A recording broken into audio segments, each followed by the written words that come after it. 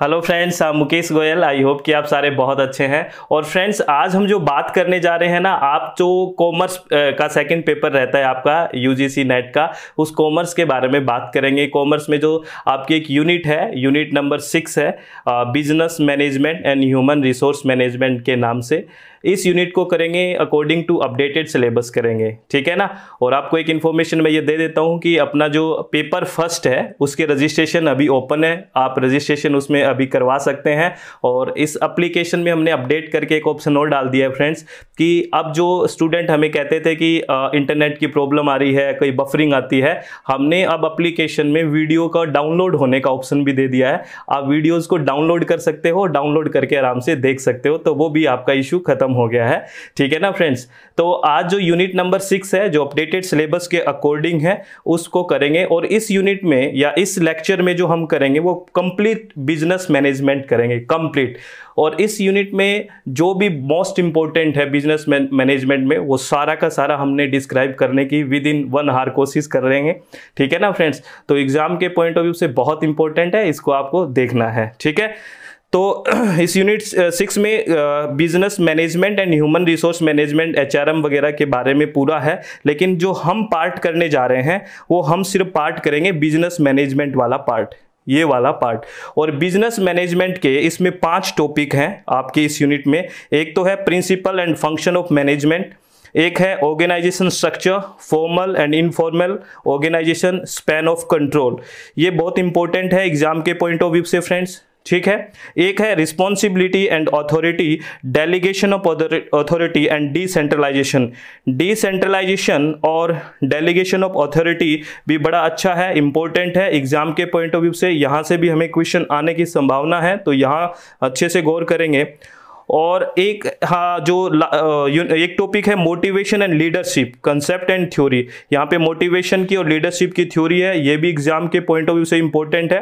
और इसको आप प्लस वन से ही पढ़ रहे हैं कॉमर्स वाले बच्चे तो तो इतना बड़ा हर्डल की ज़रूरत ही नहीं है। और मोटिवेशन और लीडरशिप की जो थ्योरीज हैं, इसमें जो मोटिवेशन की थ्योरी में मेनली जो इंपॉर्टेंट है, वो ईयर भी बहुत इंपॉर्टेंट है। ये थ्योरी किसके द्वारा दी गई, ये चीज़ें भी बहुत बार पूछी जाती है।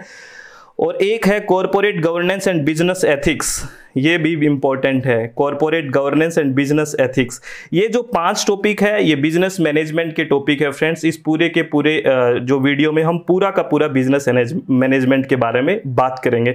और बिज़नेस एथिक्स एथिक्स तो हमें हर जगह पढ़नी पड़ती है. रिसर्च के फ़र्स्ट पेपर में भी रिसर्च एथिक्स भी पढ़ते हैं. यहाँ भी बिज़नेस में एथिक्स एथिकल वैल्यूज़ तो हर जगह ज़रूरी होती है. तो ये बड़ा अच्छा है. यहाँ से भी क्वेश्चन आने की बड़ी संभावना रहती है. यहाँ पे कॉरपोरेट सोशल रिस्पॉन्सिबिलिटी के बारे में सीएसआर के बारे में भी बात करेंगे, वो भी देखेंगे कि क्या होता है। तो यहाँ पे बड़ी अच्छी बातें करनी है।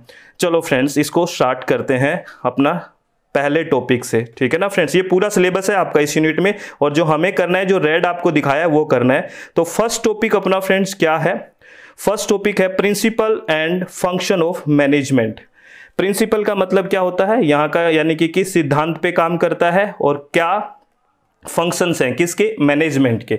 यानी कि जो मैनेजमेंट होता है, प्रबंधन होता है, वो उसके फ़ंक्शन क्या क्या होते हैं और जो प्रबंधन है, वो किस प्रिंसिपल पे या किस सिद्धांतों पे काम करते हैं, इस, ये अपना फ़र्स्ट टॉपिक है आपके सिलेबस के अकॉर्डिंग तो सबसे पहले हमें ये पता होना चाहिए कि मैनेजमेंट होता क्या है। फिर उसके फ़ंक्शन और प्रिंसिपल के बारे में बात कर लेंगे।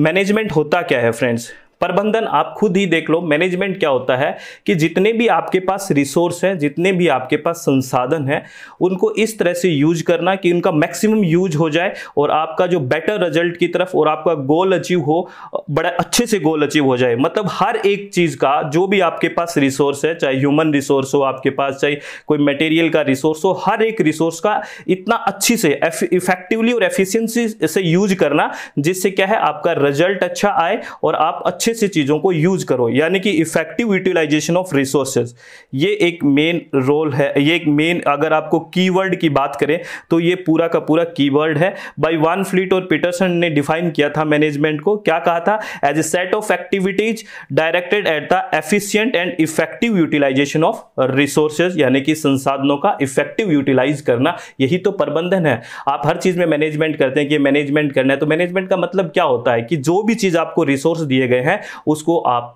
ढंग से इफेक्टिवली यूज़ करें। तभी तो काम चलेगा ना। किसी भी ऑर्गेनाइजेशन का घर में भी मैनेजमेंट करना पड़ता है। घर में भी आप मैनेजमेंट से चलते हो कि चलो, हर महीने इतनी सैलरी आनी है इतना काम होना है तो मैनेजमेंट से चलते हैं ना हर चीज़। यानी कि जो भी हमारे पास रिसोर्स है, उसका हम इफेक्टिवली यूज़ कर सकें। दिस इज़ मैनेजमेंट ठीक है? इसके बाद फ़ंक्शंस और प्रिंसिपल के बारे में हमें बात करनी है फ्रेंड्स तो बात करते हैं फ़ंक्शंस ऑफ़ मैनेजमेंट मैनेजमेंट के क्या फ़ंक्शन है? तो जो लुथर गुलिक है, उन्होंने एक शब्द कॉइन किया था और ये शब्द था पोस्ट कोब क्या था? पोस्ट कोब पोस्ट ये सिविल सर्विसेज़ में, जैसे राजस्थान पब्लिक सर्विस कमीशन वगैरह में भी यहाँ से क्वेश्चन पूछे जाते हैं फ्रेंड्स और आपसे भी क्वेश्चन पूछा जा सकता है कि पोस्ट कोब में एक एक जो आपके सामने एक एक लेटर दिया गया है, इसका मतलब पूछा जा सकता है. तो मैं इसको डिफाइन कर सक कर देता हूँ पोस्ट कोब में. ये सात फ़ंक्शन है. कौन कौन से फ़ंक्शन है? सेवन फ़ंक्शंस तो पी से मतलब होता है प्लानिंग क्या होता है? प्लानिंग एक एक बार इनका मतलब बता देता हूँ आपको कि पी से मतलब क्या होता है फ्रेंड्स प्लानिंग क्या होता है? प्लानिंग पी से मतलब अपना हो गया प्लानिंग और उसके बाद हमारे पास है ओ ऑर्गेना ओ का मतलब है ऑर्गेनाइजिंग किसी चीज़ को ऑर्गेनाइज करना, ठीक है? ऑर्गेनाइजिंग और उसके बाद एस का मतलब है स्टाफिंग क्या है? स्टाफिंग ठीक है फ्रेंड्स एस का मतलब है स्टाफिंग प्लानिंग, ऑर्गेनाइजिंग, स्टाफिंग और डायरेक्टिंग और को सीओ में दोनों चीज़ है। एक तो कोऑर्डिनेशन और एक कंट्रोलिंग ये दोनों शब्दों को ले कई जगह कोऑर्डिनेशन लिखाता है, कई जगह कंट्रोलिंग भी लिखाता है। तो इसमें आपको कंफ्यूज नहीं होना। और आर से मतलब है रिपोर्टिंग और आपका मतलब है बी से बजटिंग क्या है? बजटिंग ये तो इनका क्या है? एक तरह से ये जो लेटर दिए हैं, इनका फुल फॉर्म कह सकते हैं, इनका मतलब क्या है, ये बात हमने करी है। तो थोड़ा सा वैसे तो आपको देखो, ये पोस्ट को में प्लानिंग करना, ये सारी चीज़ें आप बचपन से ही पढ़ते आ रहे हो, लेकिन फिर भी थोड़ा थोड़ा मैं डिफाइन कर देता हूँ कि इसमें क्या क्या होता है।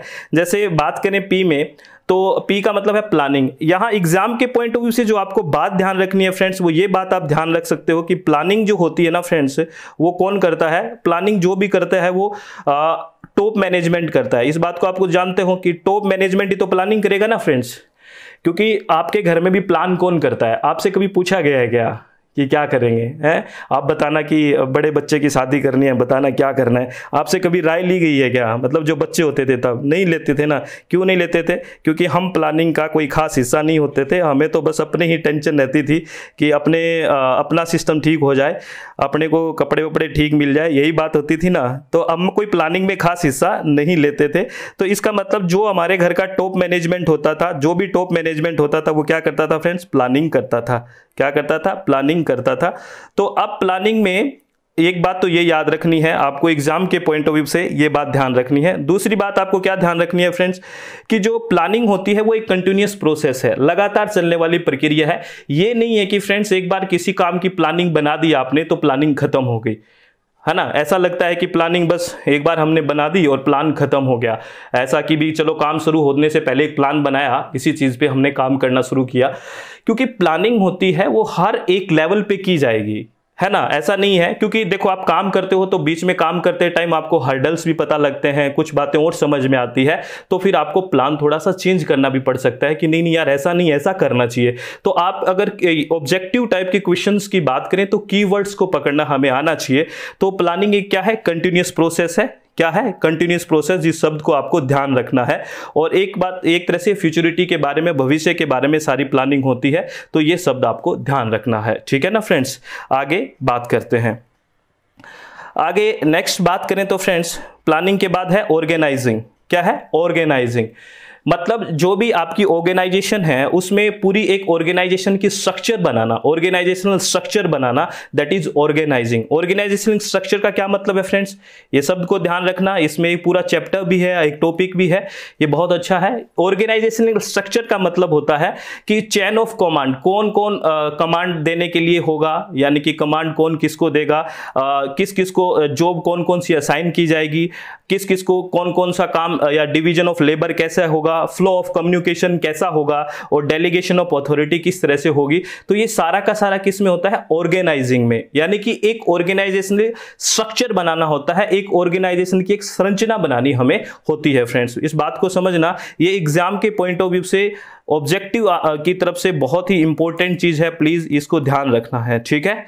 ये बात आपको ध्यान रखनी है। पूछा जा सकता है कि ऑर्गेनाइजेशनल स्ट्रक्चर में क्या क्या होता है तो ऑर्गेनाइजेशनल स्ट्रक्चर में ये सारी बातें होती है, ठीक है फ्रेंड्स आगे अगर बात करें फ्रेंड्स तो आगे अगर बात करें तो यही है, वो five steps of organisation function के पाँच स्टेप बताए हैं हमने, जो आपने किया कि सबसे पहले तो क्या होता है कि आइडेंटिफिकेशन ऑफ़ एक्टिविटी जो भी एक्टिविटीज़ हैं उनको आइडेंटिफाई करना होता है, फिर उन जो भी एक्टिविटीज़ जो हमने आइडेंटिफाई कर ली है, उसकी फिर हमें क्या करनी होती है ग्रुपिंग करनी होती है, क्या करनी है ग्रुपिंग करनी है, उसके बाद असाइनिंग रिस्पॉन्सिबिलिटीज असाइन की जाती है कि कौन क्या करेगा, यानी कि उत्तरदायित्व है, उनको संभाला जाता है कि ये आप करोगे। उसके बाद अथॉरिटी भी ग्रांट की जाती है। आप याद रखना, ये आगे एक चैप्टर में पढ़ेंगे रिस्पॉन्सिबिलिटी एंड अथॉरिटी क्योंकि देखो, जिसको आप रिस्पॉन्सिबिलिटी देते हो, उसको अथॉरिटी देना भी ज़रूरी है। उत्तरदायित्व देते हो तो थोड़ी पावर भी देना ज़रूरी है। ठीक है ना? अधिकार भी देने ज़रूरी है। फिर उसके बाद में स्टैब्लिशिंग रिलेशनशिप यानी कि कम्युनिकेशन वगैरह, कौन किससे करेगा, ये भी ज़रूरी है। ये पूरा का पूरा एक ऑर्गेनाइजिंग का प्रोसेस चलता है ना फ्रेंड्स ये प्रोसेस आपको ध्यान रखना है ये पूरी की पूरी ऑर्गेनाइजेशन में होता क्या है? जब हम ऑर्गेनाइजिंग करते हैं, जब एक ऑर्गेनाइजेशन में स्ट्रक्चर बनाते हैं तो क्या क्या होता है? ये सारी बातें इसमें हमने करी है। ठीक है फ्रेंड्स आगे बात करते हैं। आगे अगर बात करें फ्रेंड्स तो नेक्स्ट है अपना स्टाफिंग क्या है? स्टाफिंग स्टाफिंग क्या होता है? स्टाफिंग में आप नाम से ही समझ रहे होंगे, यानी कि जो भी इलिजिबल कैंडिडेट्स होते हैं, क्योंकि आपने देखो ऑर्गेनाइजेशनल की एक स्ट्रक्चर बना दी कि ये कमांड करेगा, ये जॉब असाइन वगैरह के लिए, लेकिन ये सारे के सारे अपॉइंट तो स्टाफिंग में करोगे ना, जो भी इलिजिबल कैंडिडेट होंगे, उनको क्या करोगे? हायर करोगे. क्या करोगे? आप उनको हायर करना ही क्या है? स्टाफिंग है. स्टाफिंग के अंदर कई सारे प्रोसेस होते हैं फ्रेंड्स कई सारी चीज़ें होती है, ये आपको ध्यान रखना है। स्टाफिंग में क्या क्या इंक्लूड होता है? एक तो होता है रिक्रूट रिक्रूटमेंट इंक्लूड होता है। क्या होता है? रिक्रूटमेंट एक होता है सिलेक्शन एक होता है इंडक्शन इंडक्शन का मतलब होता है टू मेक फैमिलियर यानी कि जो भी लोग आपने सिलेक्ट कर लिए हैं, उनको क्या बनाना? फैमिलियर बनाना, उनसे जो आपका जो भी आप ऑर्गेनाइजेशन में काम कर रहे हैं, उनके बीच कम्युनिकेट कराना, उनके बीच फैमिलियर बनाना कि आप काम अच्छे से कर पाए। उसके बाद ट्रेनिंग होती है फ्रेंड्स थोड़ा सा ऊपर चलते हैं, वापस रिक्रूटमेंट और सिलेक्शन की अगर बात करें फ्रेंड्स तो रिक्रूटमेंट एक पॉजिटिव प्रोसेस होता है, क्योंकि मैक्सिमम लोगों को बुलाया जाता है रिक्रूटमेंट में। यही क्वेश्चन जब आरपीएससी ने राजस्थान पब्लिक सर्विस कमीशन ने आरएस मेंस लिया था, तब सिलेक्शन और रिक्रूटमेंट में फ़र्क पूछा था। What is the difference between selection and recruitment तीन, दो नंबर का क्वेश्चन बना था। यहाँ भी ऑब्जेक्टिव क्वेश्चन पूछा जा सकता है। तो याद रखना, जो रिक्रूटमेंट होता है ना फ्रेंड्स वो पॉजिटिव प्रोसेस है, एक धनात्मक प्रक्रिया है, क्योंकि मैक्सिमम कैंडिडेट को मैक्सिमम इलिजिबल कैंडिडेट को बुलाया जाता है और सिलेक्शन में क्या किया जाता है? रिजेक्ट किया जाता है फ्रेंड्स क्या किया जाएगा? क्योंकि देखो, जो एलिजिबल नहीं होंगे, उनको क्या करेंगे? यानी कि सिलेक्शन के आपके क्राइटेरिया में आके वो सिलेक्ट नहीं हो पाएँगे, यानी कि सिलेक्शन की अप्रोच रहती है बाहर करना, जो एकदम से ज़्यादा मतलब सुटेबल है, उनको इन करना। तो ये थोड़ा सा एक नेगेटिव प्रोसेस है, क्योंकि रिक्रूटमेंट तो मैक्सिमम कोई भी भर सकता है मैक्सिमम लोगों को गैदर करना, और उस मैक्सिमम से जो मोर इलिजिबल है, जो मोर आपकी उस जॉब के लिए सुटेबल है, उसको सिलेक्ट करना। इसके बाद है इंडक्शन तो हमने बात ही कर ली कि फैमिलियर बनाना, और ट्रेनिंग में और डेवलपमेंट में क्या फ़र्क है फ्रेंड्स ट्रेनिंग जो एक प्रोसेस है ना फ्रेंड्स ट्रेनिंग ट्रेनिंग में तो क्या होता है एक पर्टिकुलर चीज़ के लिए ट्रेन किया जाता है। किसी मान लो आप आ, किस पोजीशन पे आप टेक्निकल स्टाफ में अपॉइंट हुए हो फ्रेंड्स ना? तो टेक्निकल स्टाफ में अपॉइंट हुए तो टेक्निकल से संबंधित आपको ट्रेनिंग दी जाएगी फ्रेंड्स ठीक है? और जो डेवलपमेंट में क्या होता है फ्रेंड्स डेवलपमेंट में क्या होता है कि आपका हर तरह से विकास करने की बात की जाती है। हर तरह से विकास किया जाता है किसमें डेवलपमेंट में। ट्रेनिंग में एक पर्टिकुलर जगह से आपको ट्रेन किया जाता है। मान लेते हैं अपनी मैंने बात की कि टेक्निकल स्टाफ में आपकी रिक्रूट रिक्रूट हुए हैं आप। सिलेक्शन आपका टेक्निकल स्टाफ में हुआ है। तो टेक्निकल से नॉलेज से आपको ट्रेनिंग दी जाएगी। लेकिन डेवलपमेंट में एक तरह से कहते हैं ना, चहुमुखी, चारों तरफ़ से विकास करने की बात की जाती है। और अप्रेजल ऑफ़ परफॉर्मेंस अप्रेजल का मतलब होता है, हिंदी में बात करें तो मूल्यांकन करना। क्या करना? मूल्यांकन करना। यानी कि जो भी आपने परफॉर्म किया है, उसका क्या करना है? मूल्यांकन करना है, अवलोकन करना है कि आपने परफॉर्मेंस कैसी की है। अगर आपकी परफॉर्मेंस स्टैंडर्ड के अकॉर्डिंग नहीं है तो कुछ सुधार की गुंजाइश है तो सुधार के बारे में बताया जाता है और आपकी अगर परफॉर्मेंस बेटर है और आपके गोल अचीव करने में आपने बड़ा अच्छे से काम किया है तो आपको प्रेज भी प्राइज दिया जाता है, आपकी प्रेज की जाती है, ये सब कुछ होता है। ये सारे के सारे स्टाफिंग में इंक्लूड होते हैं। ये अच्छा क्वेश्चन बन सकता है ऑब्जेक्टिव क्वेश्चन पूछ सकते हैं कि what what elements are included in the staffing तो ये सारे के सारे हैं फ्रेंड्स ठीक है? आगे बात करते हैं फ्रेंड्स स्टाफिंग के बाद अगर नेक्स्ट अगर लेटर की बात करें तो अपने पास था डी और डी का मतलब है डायरेक्टिंग डायरेक्टिंग का मतलब क्या होता है? एक तरह से डायरेक्शन देना किसी को, दिशा निर्देश की बात करना, ये होता है डायरेक्टिंग में। तो ये एक प्रोसेस है जिसमें मैनेजर क्या करता है? जो भी आपके वर्कर्स हैं, उनको गोल अचीव करने के लिए, जो प्री डिटरमाइंड गोल है, आपने बनाया है ना, एक प्री प्लानिंग में गोल बनाया है कि इस गोल तक पहुँचना है, जो प्री डिटरमाइंड अपना गोल था, उस तक पहुँचने के लिए जो मैनेजर क्या है, एक प्रोसेस से गुजरता है, आपको इंस्ट्रक्शन देता है गाइड देता है, ठीक है ना? आपकी परफॉर्मेंस को देखता है। तो ये सारा का सारा किसमें आता है? डायरेक्टिंग में। और डायरेक्टिंग में क्या इंक्लूड होगा? ये ध्यान रखना है दिशा निर्देश में। एक तो होता है लीडरशिप क्योंकि मैनेजर क्या होता है? क्वालिटी लीडरशिप होती है, तभी तो आपको एक डायरेक्शन देगी। आपको डायरेक्शन कौन दे रहा है? आजकल डायरेक्शन कौन देता है? लीडर ही तो देते हैं ना। कहाँ से डायरेक्शन मिलती है? ये करना चाहिए, वो लीडर हो गया, ठीक है? मोटिवेशन भी होना चाहिए। ठीक है, अकेला लीडरशिप से काम नहीं चलेगा, ये एकदम से कह के चलेगा कि ये करो, लेकिन आपको प्रॉपर एक मोटिवेट भी करना पड़ेगा, अभिप्रेरणा भी जगानी पड़ेगी और कम्युनिकेशन भी अच्छा होना चाहिए। ये इन्वॉल्व करते हैं किसमें? अपने इस इस जो लेटर वाला जो शब्द इस लेटर में जो है, ये क्या इंक्लूड करते हैं हम? तीन लीडर मोटिवेशन और कम्युनिकेशन किसमें? डायरेक्टिंग में। आगे बात करते हैं फ्रेंड्स अगर नेक्स्ट बात करें दैट इज़ कोऑर्डिनेशन या कंट्रोलिंग ठीक है जो सीईओ से बना है। और फाइनली में मैनेजर क्या करता है? आप कंट्रोलिंग uh, करता है या फिर कोऑर्डिनेट करता है। और श्योरिटी देखता है कि आपने वास्तव में जो इंप्लॉय ने एक्शन किया है वो ठीक है कि नहीं। यानी कि आपने जो स्टेट किया था गोल किया था उस गोल की तरफ़ पहुँच रहे हैं कि नहीं इस तरह की बातें वो देखता है। यानी कि कोऑर्डिनेट करता है या फिर उसका नियंत्रण करने की बात करता है। और प्रोसेस क्या है कंट्रोलिंग का? ये बहुत इंपॉर्टेंट है। कैसे कंट्रोलिंग करता है? ध्यान रखना। सबसे पहले तो स्टैब्लिशमेंट ऑफ़ स्टैंडर्ड जो आपने स्टैंडर्ड को स्थापित किया था, उसकी बात करता है कि हमने स्टैंडर्ड क्या बनाया था।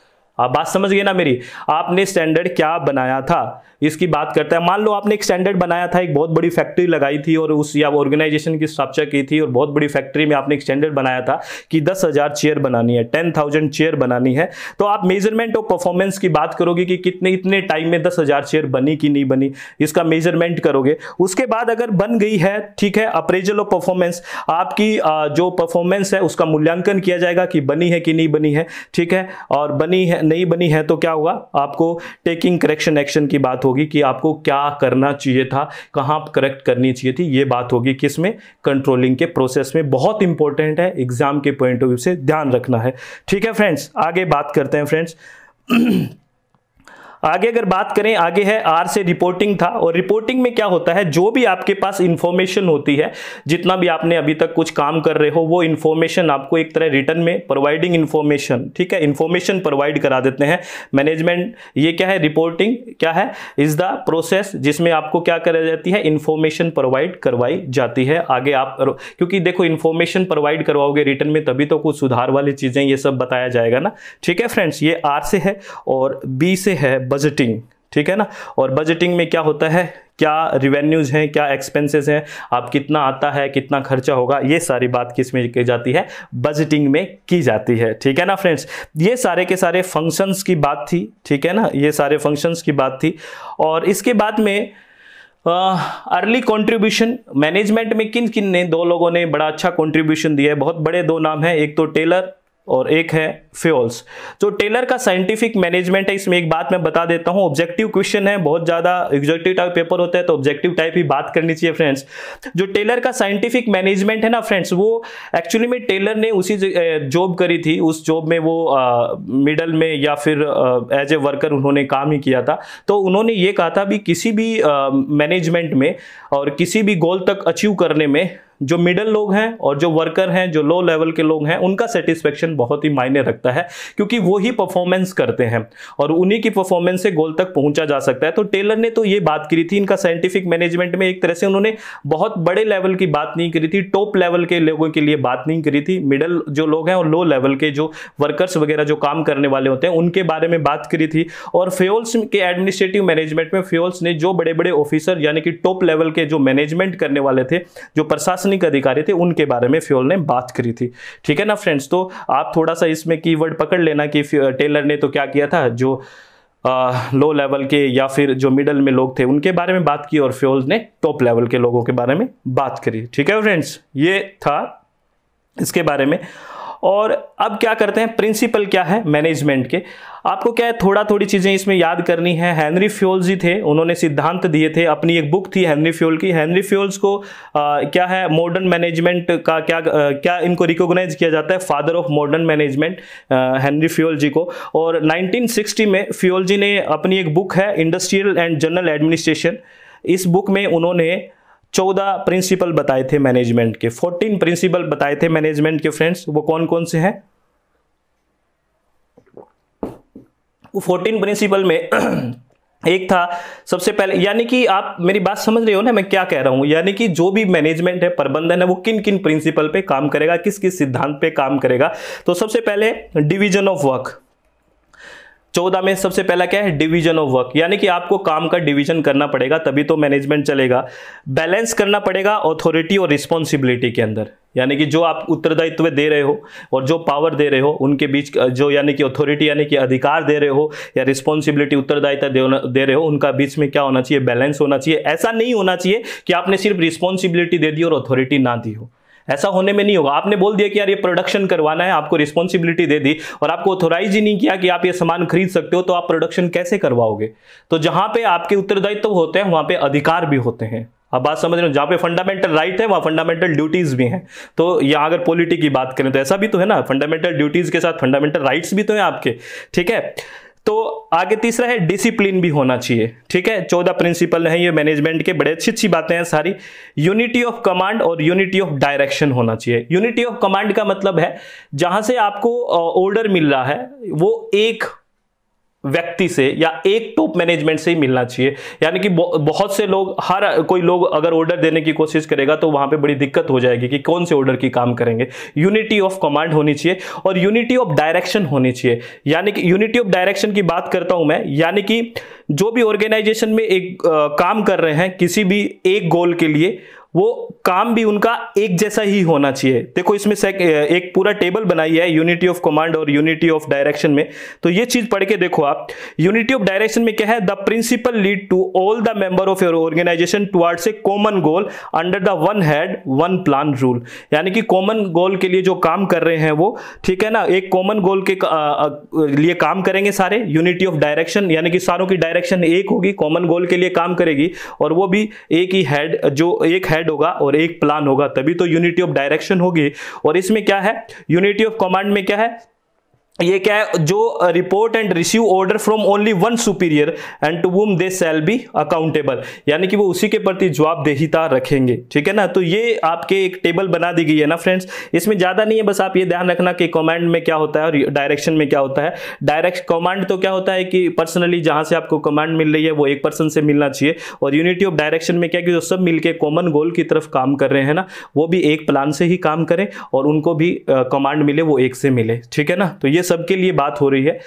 तो ये यूनिटी ऑफ़ कमांड और यूनिटी ऑफ़ डायरेक्शन है फ्रेंड्स ये ध्यान रखना है, ये टेबल आपको हाँ फ्रेंड्स अगर आपको ये पीडीएफ चाहिए ना, ये मैं आपको पूरी की पूरी पीडीएफ प्रोवाइड करवा दूँगा। आप मुझे व्हाट्सअप नीचे जो व्हाट्सअप नंबर है, उस पर व्हाट्सअप नंबर लिख के आप एक मैसेज कर देना कि हमें पीडीएफ चाहिए, या फिर टेलीग्राम लिंक पर क्लिक कर देना कि मुझे ये पीडीएफ चाहिए, मैं टेलीग्राम पर भी डाल दूँगा। ठीक है ना फ्रेंड्स नीचे लिंक दिया हुआ होगा, उसमें आपको पी फ़ाइल मिल जाएगी या व्हाट्सअप करके आप मांग सकते हो। ये पूरी की पूरी पीडीएफ आपके पास आ जाएगी। ठीक है, ये उस पीडीएफ में आप पढ़ लेना। ये देखना ये अच्छी अच्छी बातें हैं कि क्यों यूनिटी ऑफ़ डायरेक्शन की जाती है, क्योंकि इससे डुप्लीकेशन से बढ़ जाते हैं। डुप्लीकेशन एफर्ट्स नहीं लगते और रिसोर्स का वेस्टेज नहीं होगा, क्योंकि सबकी डायरेक्शन एक होगी तो। ठीक है ना? और इसमें भी क्या है कॉन्फ्लिक्ट से बच जाएँगे, क्योंकि मल्टीपल कमांड होगी तो पता नहीं लगेगा कि कौन सी कमांड पर हम काम करें। ठीक है ना फ्रेंड्स तो ये बात थी। अगर नेक्स्ट बात करें, जो चौदह में, छठा है subordination of individual interest to the general interest यानी कि हमें ना इंडिविजुअल इंटरेस्ट से बढ़ के कहाँ जाना है? जनरल इंटरेस्ट की तरफ़ जाना है। दो लोगों का बुरा हो तो सौ लोगों का भला हो तो वहाँ जाना चाहिए तो रूल ही कहता है। और रिम्यूनिटेशन का मतलब होता है प्राश्रमिक देना उसको प्रॉपर प्राश्रमिक दिया जाए, उसको प्रॉपर मेहनताना दिया जाए। ठीक है ना? ये होता है रिम्यूनरेशन और सेंट्रलाइजेशन सेंट्रलाइजेशन का मतलब होता है कि एक तरह से केंद्रीयकरण, यानी कि कमांड एक सुपीरियर अथॉरिटी की ज़रूरी होती है कि वहाँ से कमांड मिले इनको। एक सेंट्रलाइजेशन की भी ज़रूरत होती है। जैसे पॉलिटी की बात करें तो सेंट्रलाइजेशन भी है सेंट्रल गवर्नमेंट है ना?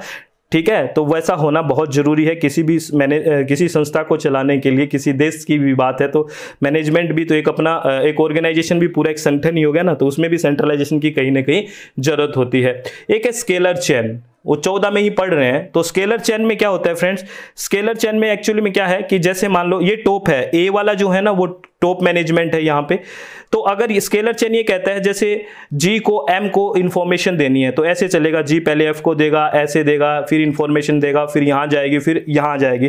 तो ये टाइम कंज्यूमिंग हो सकता है ना फ्रेंड्स अगर जी को देना जी को मान लो एन को देना है तो यूँ घूम के आएगा वो। तो बी को देना है तो यूँ जाएगा। पी ओ को क्यू को देना है, या एन को देना है तो यूँ जाएगा। तो इसमें क्या होता है टाइम कंज्यूम भी हो सकता है ना, बहुत ज़्यादा। कोई ऐसी चीज़ हो जो ऑर्गेनाइजेशन के लिए जल्दी सूचना की ज़रूरत हो, जल्दी इंफॉर्मेशन पहुँचने की ज़रूरत हो और लेट हो जाता है तो कहीं ना कहीं प्रॉब्लम हो जाती है। तो इसके लिए गैंग प्लैंक है जो एक ब्रिज का काम करता है। इसमें क्या कहा कि अगर बहुत ज़्यादा अगर कोई ऐसी सिचुएशन होती है, कोई पर्टिकुलर सिचुएशन के लिए गैंग प्लैंक की बात की गई है कि बहुत ज़्यादा ज़रूरत और ऐसा लगता है कि ऑर्गेनाइजेशन के लिए बहुत ज़रूरी है सूचना है तो गैंग गैंग प्लैंक के अकॉर्डिंग एक ब्रिज बना के एफ़ है, वो पी को यहाँ से डायरेक्ट भी सूचना दे सकता है। ये आपको ध्यान रखना है। ऑब्जेक्टिव जो क्वेश्चन है, उसमें पूछा जा सकता है कि गैंग प्लान और ब्रिज का क्या मतलब है। ठीक है तो ये थोड़ा सा आपको ध्यान रखना है। ठीक है फ्रेंड्स बात समझ गए ना?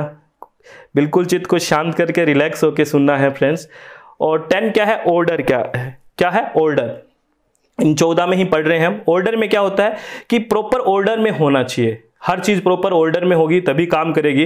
क्योंकि जो भी फ़िज़िकल और सोशल ऑर्डर हैं ह्यूमन रिसोर्स हैं, जितने भी हैं, यानी कि right person should be on right place है ना राइट जॉब पे। ऐसा नहीं है, आपको कोई टेक्निकल नॉलेज है और आपको मार्केटिंग का काम दे दिया, कैसे कर पाओगे? मार्केटिंग का नॉलेज है टेक्निकल का काम दे दिया, कैसे कर पाओगे? यानी कि प्रॉपर एक ऑर्डर होना चाहिए। जो मैनेजमेंट में महारत हालत हासिल है, वो मैनेजमेंट में काम देना चाहिए, जिसको मार्केटिंग का काम अच्छा आता है, वो मार्केटिंग का काम देना चाहिए। सीए का एक अकाउंटिंग का काम है तो उसको अकाउंटिंग का ही देना चाहिए। There should be a proper order ठीक है ना फ्रेंड्स इक्वलिटी, आपको पता है, अगर इक्वलिटी होगी मैनेजमेंट में, समानता दर्शाई जाएगी, तभी तो मैनेजमेंट अच्छा माना जाएगा। अगर आप अनइक्वली किसी से बिहेव कर रहे हो या कुछ भी कर रहे हो तो आपसे काम नहीं करेगा आपका स्टाफ ठीक है ना? तो इक्वलिटी भी ज़रूरी है।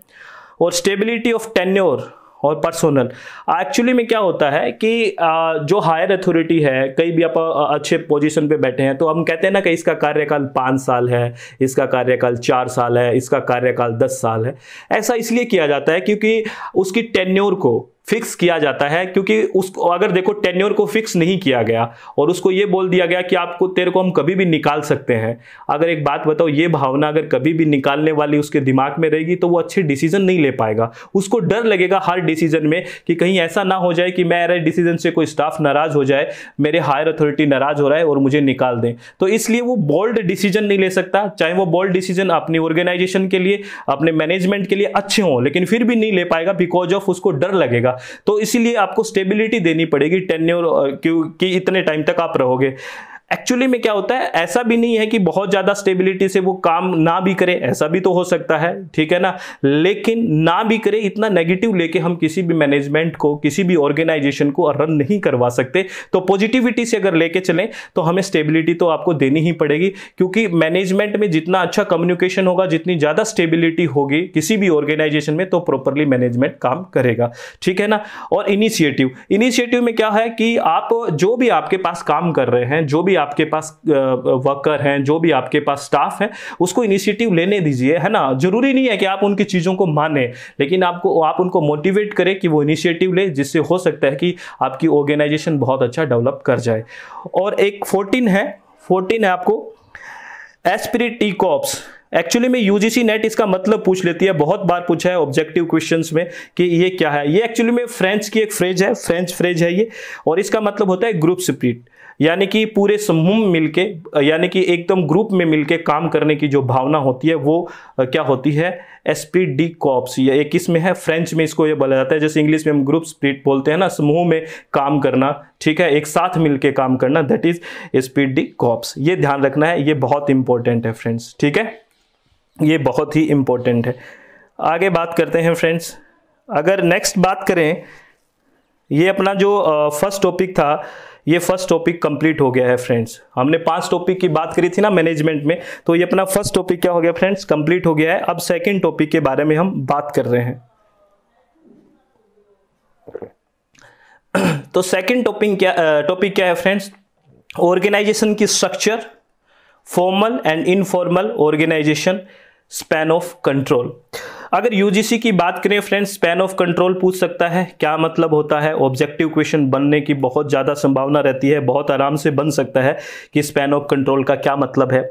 ऑर्गेनाइजेशन स्ट्रक्चर की बात करें तो पूछ सकते हैं कि फॉर्मल और इनफॉर्मल ऑर्गेनाइजेशन स्ट्रक्चर में क्या डिफरेंस होता है। तो एक टेबल बना दी गई है और मैं फिर कह रहा हूँ पीडीएफ चाहिए तो आप मुझे टेलीग्राम लिंक पे मिल जाएगी या मुझे डायरेक्ट व्हाट्सअप करके मांग लेना, मैं आपको सेंड कर दूँगा।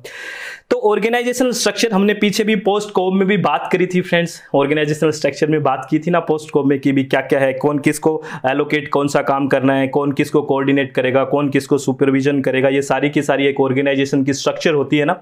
तो यही ऑर्गेनाइजेशन स्ट्रक्चर है। और इसकी फॉर्मल और इनफॉर्मल ऑर्गेनाइजेशन की बात करें तो एक टेबल की अकॉर्डिंग बात कर लेते हैं। फॉर्मल जो ग्रुप होता है ये ध्यान रखना, ये बड़ा अच्छी है। फॉर्मल जो ग्रुप होता है फॉर्मल क्या होता है? औपचारिक। क्या होता है? औपचारिक और इनफॉर्मल होता है, अनौपचारिक।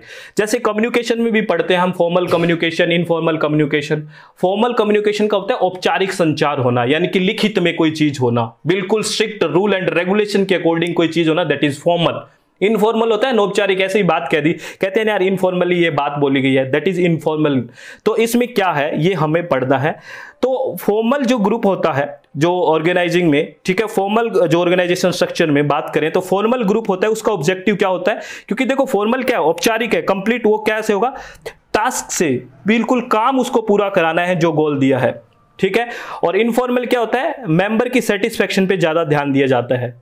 यानी कि मेंबर की संतु इनफॉर्मल है ना तो सेटिस्फेक्शन पे ज़्यादा ध्यान देते हैं।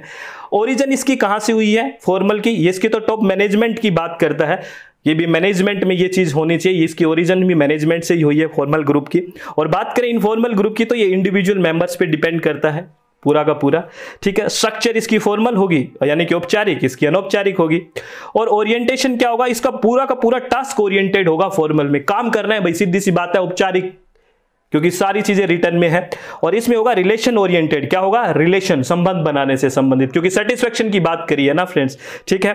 तो ये फॉर्मल अथॉरिटी होगा इन्फ्लुएंस किससे होगा? और ये पर्सनैलिटी से इन्फ्लुएंस होगा।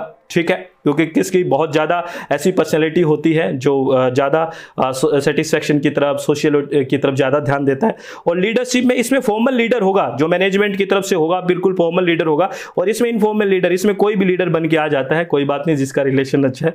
ये सारी की सारी बात होगी इसमें ऑर्गेनाइजिंग में।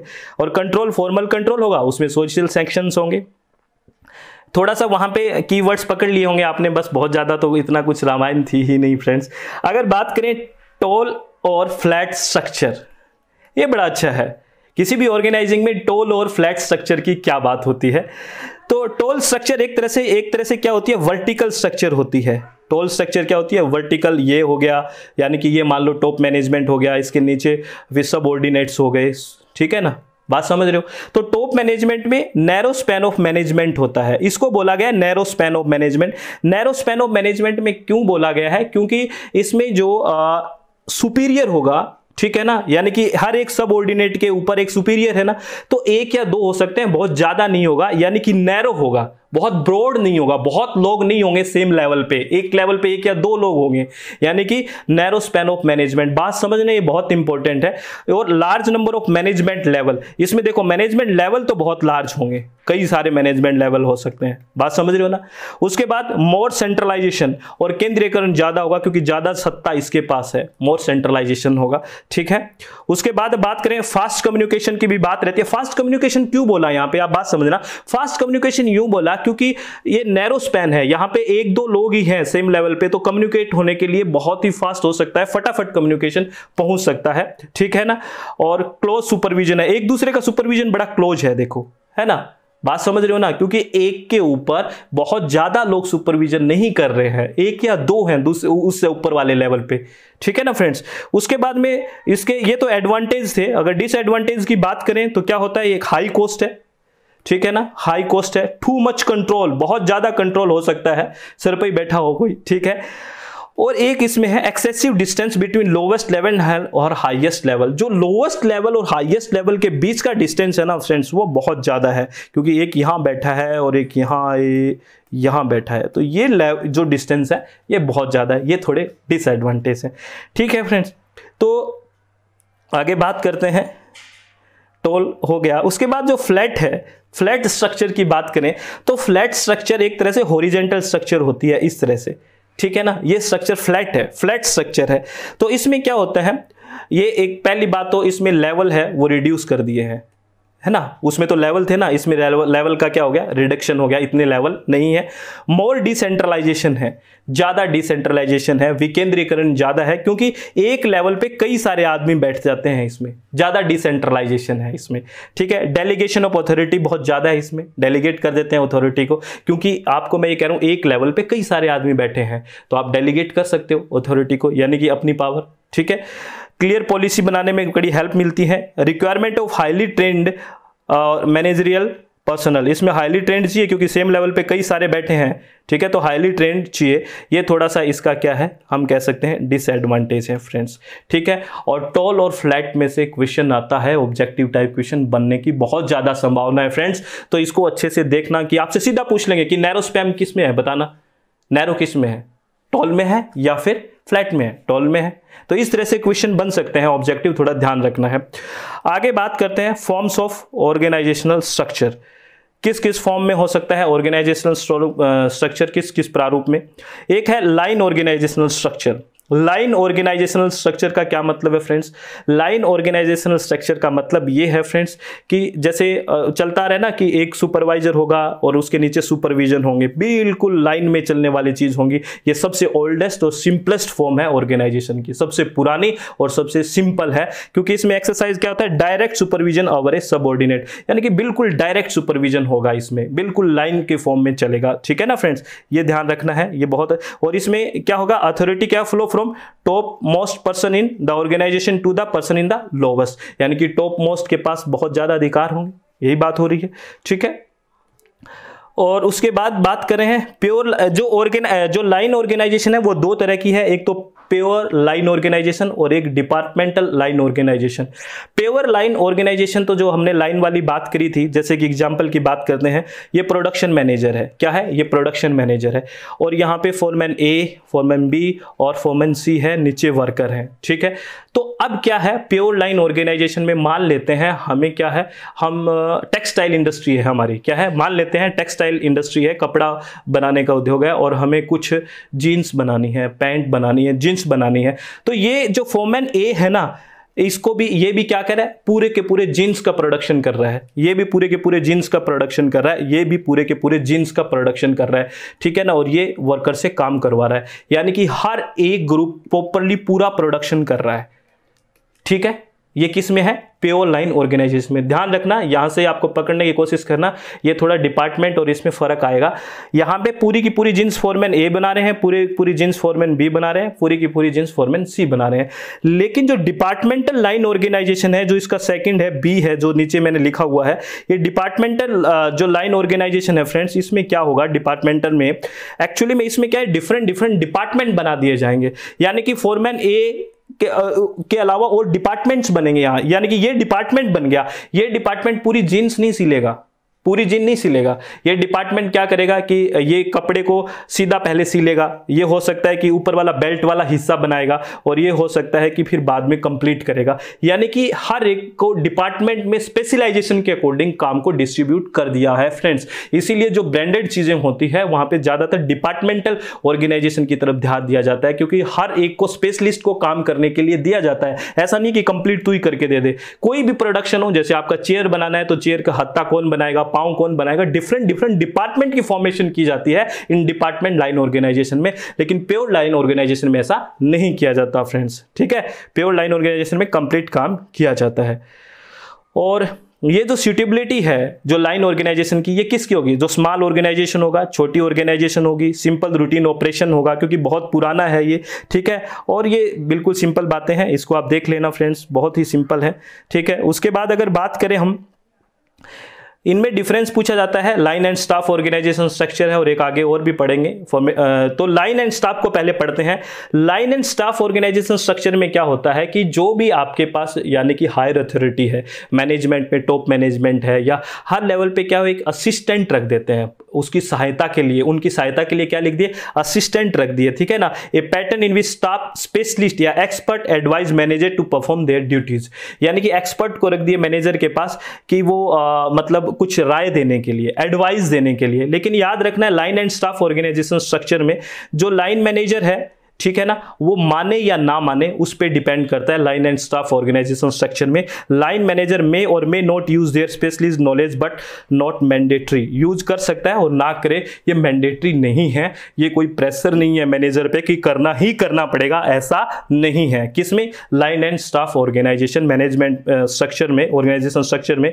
और इसमें जो नेक्स्ट वाला देखिए एक इस, इसी को पहले कर लेते हैं। Line and staff organisation chart क्या है? जैसे चीफ एग्जीक्यूटिव ऑफिसर है सीईओ है ठीक है? तो इसमें कुछ स्पेशलिस्ट लिखे हैं। जैसे इकोनॉमिक्स से स्पेशलिस्ट ये हैं और ये लीगल एडवाइजर हैं।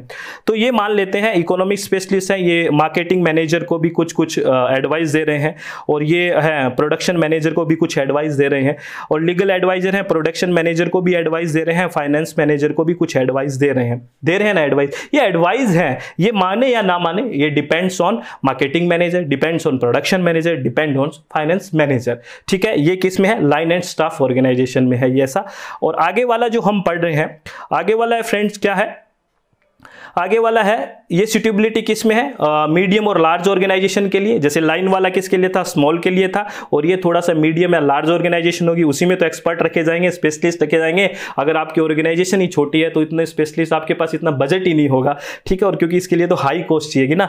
आगे बात करते हैं फ्रेंड्स आगे है फंक्शनल ऑर्गेनाइजेशन स्ट्रक्चर तो मैं कह रहा था ना डिफरेंस पूछ सकते हैं। तो फंक्शनल ऑर्गेनाइजेशन स्ट्रक्चर और जो स्टाफ वाली बात हुई थी पीछे, अभी उसके बारे में डिफरेंस पूछा जा सकता है।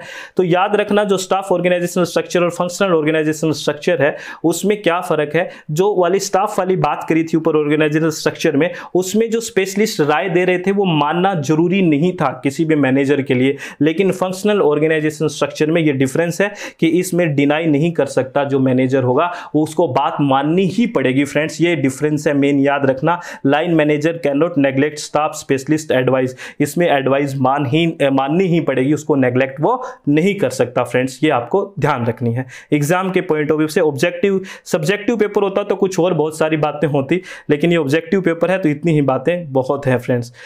ठीक है, आगे बात करते हैं।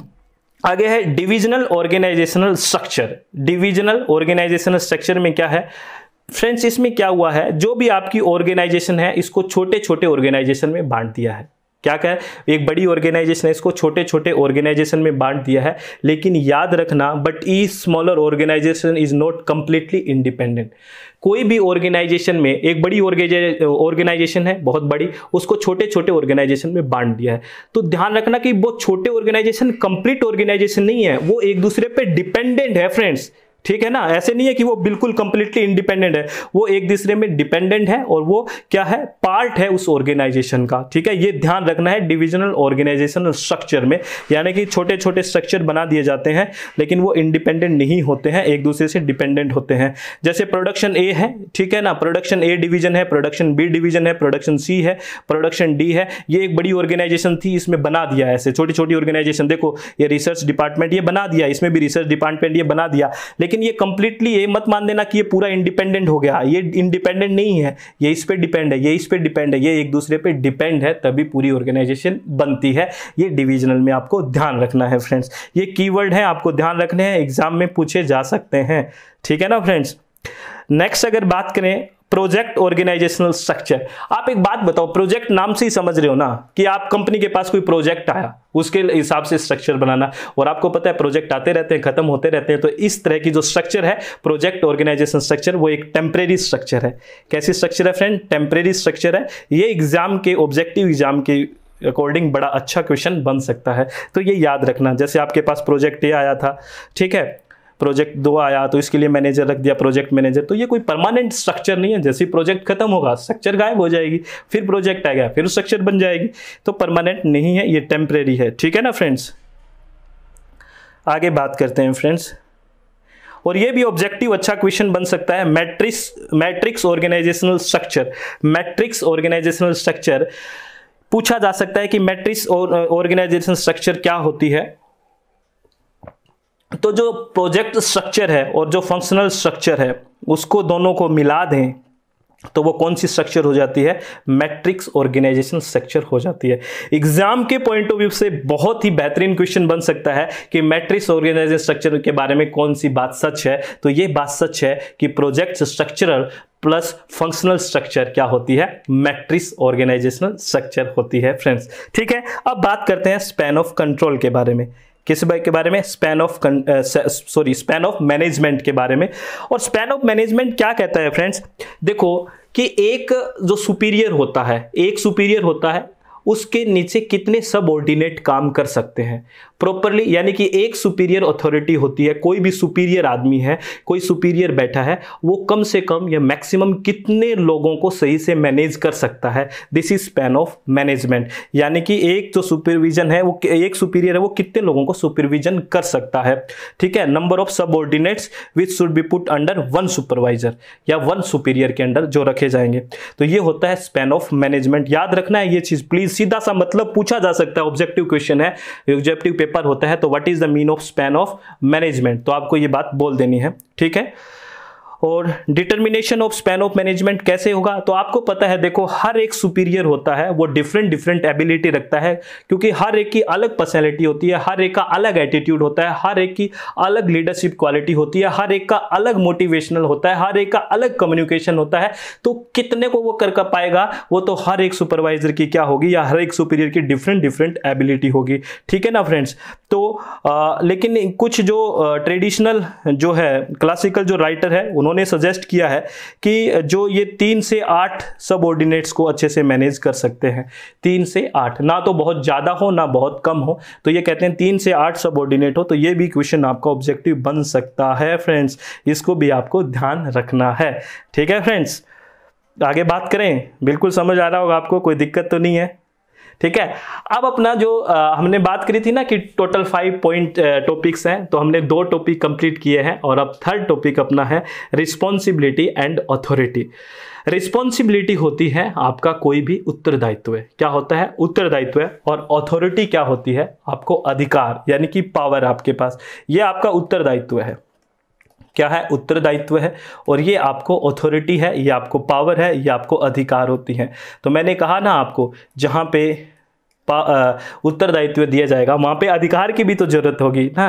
ठीक है, इसमें हम पढ़ेंगे delegation of authority and decentralisation इसकी बात आप में करनी है डेलीगेशन ऑफ़ अथॉरिटी क्या होती है। ये राजस्थान एडमिनिस्ट्रेटिव सर्विसेज़ के मेंस के लिए भी बहुत इंपॉर्टेंट चीज़ें हैं। ठीक है ना, जो स्टूडेंट मेंस की तैयारी कर रहे हैं, वो भी यहाँ देख सकता है। तो रिस्पॉन्सिबिलिटी क्या होती है, उत्तरदायित्व क्या होती है, आपको पता है, ये या तो मेंटल हो सकती है या फ़िज़िकल हो सकती है। किसी को दिमागी रूप से काम करने के लिए कुछ बोला जाता हो या फ़िज़िकल कुछ काम करने के लिए बोला जाता हो। ठीक है ना? तो ये कोई असाइन एक्टिविटीज़ होती है, जो एक्टिविटीज़ आपको असाइन की जाती है, वो है रिस्पॉन्सिबिलिटी उत्तरदायित्व, यानी कि आपको ये काम करना है, सो, ये बात लिखनी है, सोचना है, कुछ भी आइडियाज़ देने हैं तो वो मेंटल हो जाएगा, ये काम आपको करना है दैट इज़ फ़िज़िकल हो जाएगा, और अथॉरिटी क्या होती है? The power and right of a person.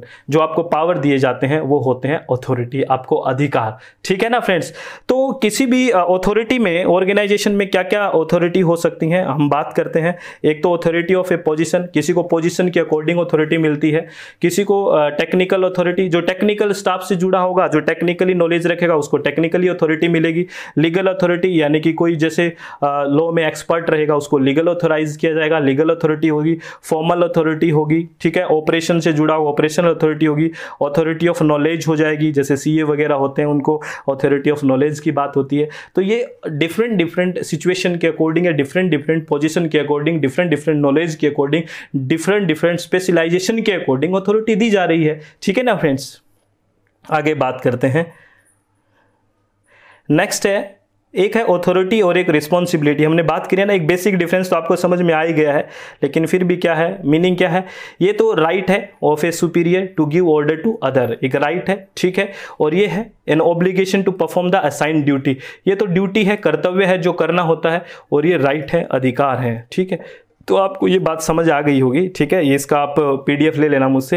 ये सिंपल से इनके आ, आ, हमने डिवाइड की हुई है। तो ये क्वेश्चन तो आपसे ऑब्जेक्टिव पूछे तो इसमें से पढ़ लेना कोई वो नहीं है। तो ये देख लो ये सीधा सा पूछ सकते हैं कि जो रिस्पॉन्सिबिलिटी और इसमें फ्लो क्या रहता है। तो अब आपको पता है आ, ये टॉप टू बॉटम रहेगा क्योंकि टॉप वाला ही तो आपको ड्यूटी देगा कुछ करने को लिए है ना? ठीक है ना? और ये बॉटम लेवल टू टॉप हो जाता है ठीक है? ये सारी की सारी बातें आप पढ़ लेना रिस्पॉन्सिबिलिटी और ये क्या होगा ऑर्डर कौन देगा, आपको कहाँ से मिलेगा, ये सारी बातें हो गई। ठीक है फ्रेंड्स? ये तो बिल्कुल बेसिक बातें हैं, आपको पता ही है, इतने तो आप बहुत समझदार हो इस टॉपिक को तो बहुत पहले से आप पढ़ रहे हो प्लस वन से पढ़ रहे हो। ठीक है ना फ्रेंड्स? आगे इसी में है डेलीगेशन और डिसेंट्रलाइजेशन की बात करते हैं फ्रेंड्स। डेलीगेट करना क्या होता है? किसी की जैसे डेलीगेट मैं कोई पोजीशन पे हूँ, ठीक है ना? और मैंने आपको काम, मेरा काम आपको दे दिया। असाइन कर दिया कि आप ये करिए दैट इज़ अ डेलीगेशन ठीक है? डिसेंट्रलाइज डिसेंट्रलाइजेशन क्या होता है? विकेंद्रीकरण होता है। डिसेंट्रलाइजेशन क्या होता है? पूरी की पूरी ऑर्गेनाइजेशन में किया जाता है। यानी कि एक तरह से कह सकते हो कि जो डेलीगेशन का एंड रिज़ल्ट है ना दैट इज़ डिसेंट्रलाइजेशन अब मैं ये बात करता हूँ, जैसे अगर इंडिया की अगर पॉलिटिकल साइंस की बात करें तो ऊपर ऊपर क्या सेंट्रल गवर्नमेंट है, फिर स्टेट स्टेट गवर्नमेंट है और फिर लोकल गवर्नमेंट है है ना? जो ग्रामीण लोकल गवर्नमेंट की आप बात करते हो, वो है सबसे पहले केंद्र सरकार, राज्य सरकार और जो स्थानीय सरकारें हैं। इसी तरह तो देश चलता है इसी तरह है अपने देश में, ठीक है? ट्राइलियर है ना?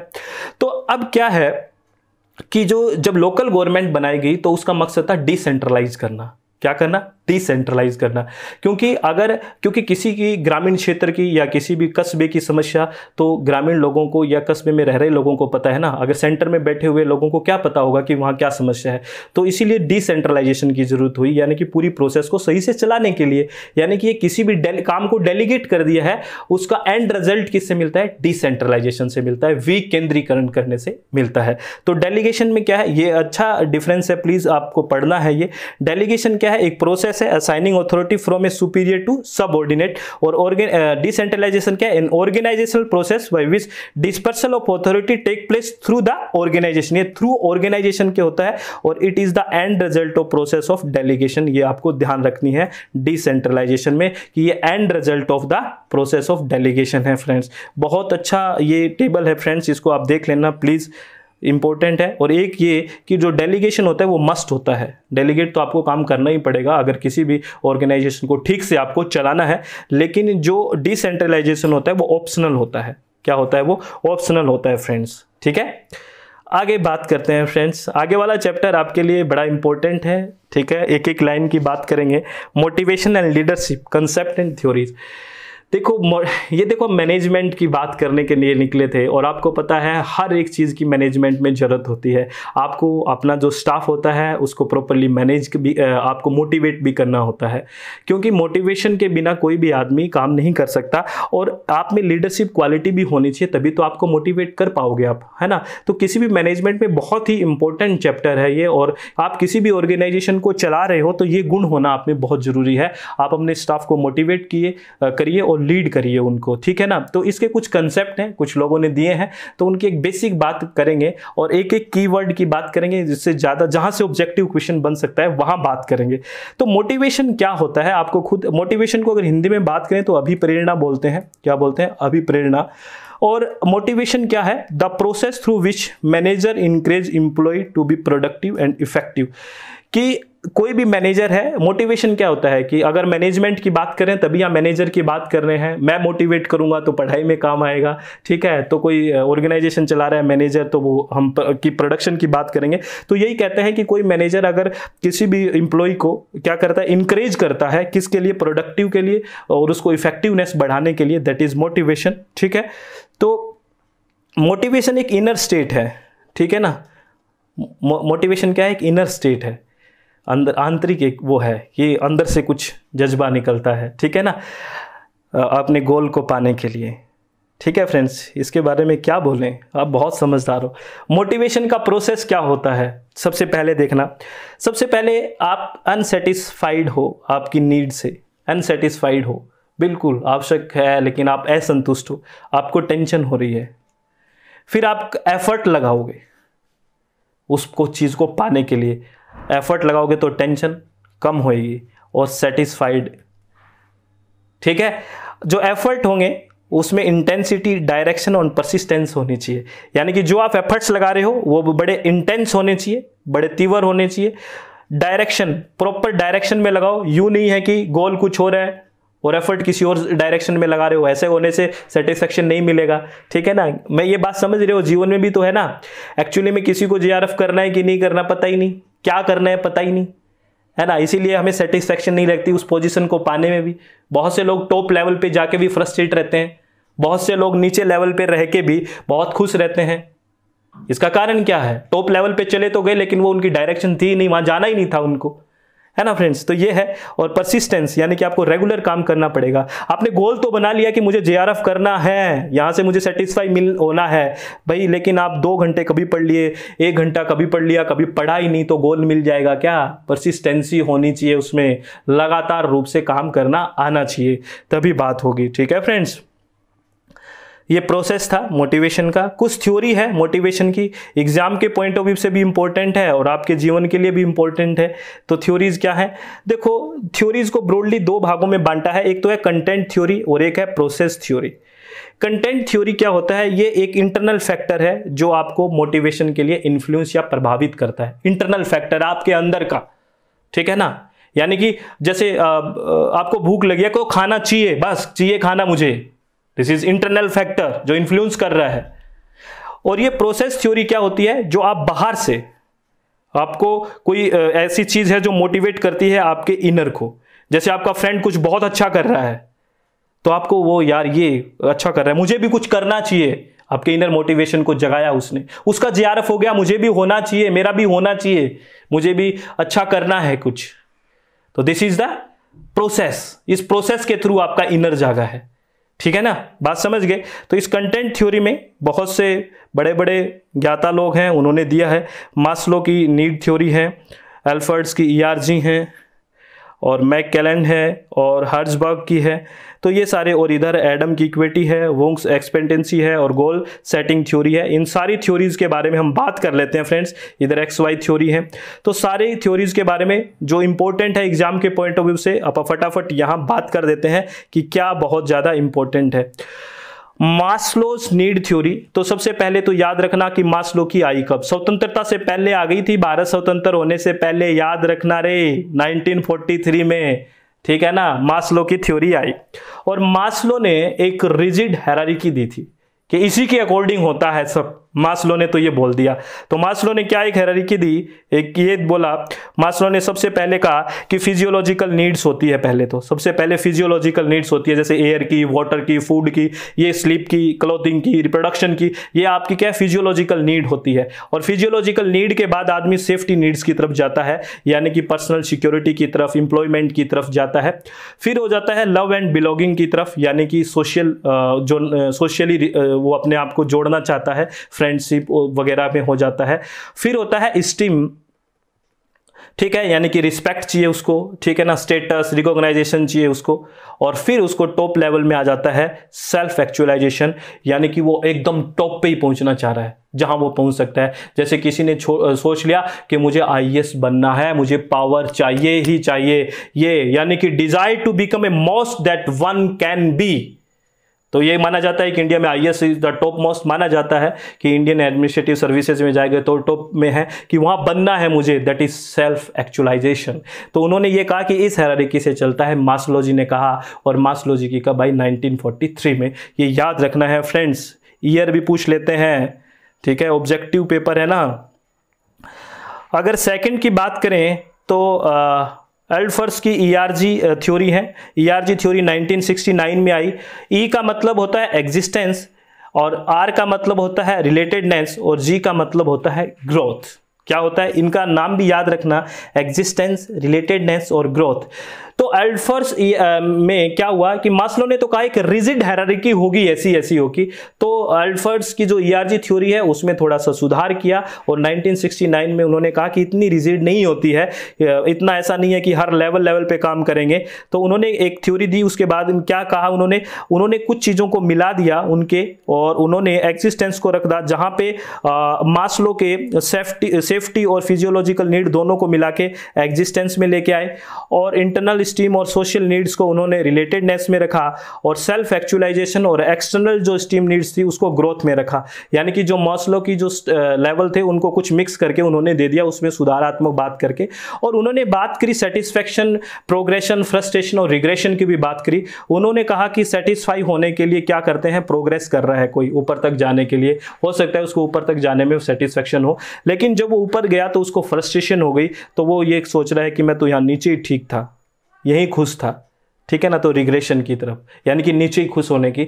बहुत लोग खुश रहते हैं अपनी जॉब छोटी या बड़ी जैसी भी उसके पास है। तो ये था मास तो इसमें डिफरेंस क्या है मासलो और ईआरजी जी थ्योरी में? तो इन्होंने ये कहा, जैसे उन्होंने तो क्या कहा था, एक लेवल बताए थे कि इस लेवल के बाद ये लेवल आएगा। उन्होंने कहा, नहीं more than one level at the same time ऐसे नहीं है कि एक टाइम में एक ही लेवल काम करेगा, एक टाइम में एक से ज़्यादा लेवल भी। हो सकता है वो सिक्योरिटी भी चाहता हो हो चाहता है वो सेल्फ स्टीम भी चाहता हो सेल्फ एक्चुअलाइजेशन भी चाहता हो। ऐसा भी तो हो सकता है, एक साथ। ज़रूरी नहीं है कि ऐसे ऐसे एक स्टेप वाइज चाहता हो। तो एक बात थी। और उसने कहा कि कोई भी रिजिड हैरारिकी नहीं होती। इन्होंने कहा ई e ने। याद रखना। और इन्होंने कहा कि ये कोई भी पर्सन के लिए ज़रूरी नहीं है कि हर पर्सन के लिए सेम हो। ये वेरी करती रहती है, क्योंकि कोई हो सकता है नीचे के लेवल पे सेटिस्फाई हो, ऊपर के लेवल पे फ्रस्ट्रेट हो जाए। आप बात समझ रहे ना मेरी? तो ये बातें थी फ्रेंड्स इसमें डिफरेंस की, ये आपको याद रखनी है। आ सकती है एग्ज़ाम में। और McClelland theory of need है, ये 1961 में आई और इसको अचीवमेंट मोटिवेशनल थ्योरी बोलते हैं फ्रेंड्स अचीवमेंट मोटिवेशनल थ्योरी में क्या है फ्रेंड्स इसमें तीन बातें हमें देखनी है। एक तो नीड फॉर अचीवमेंट एक्चुअली में क्या है?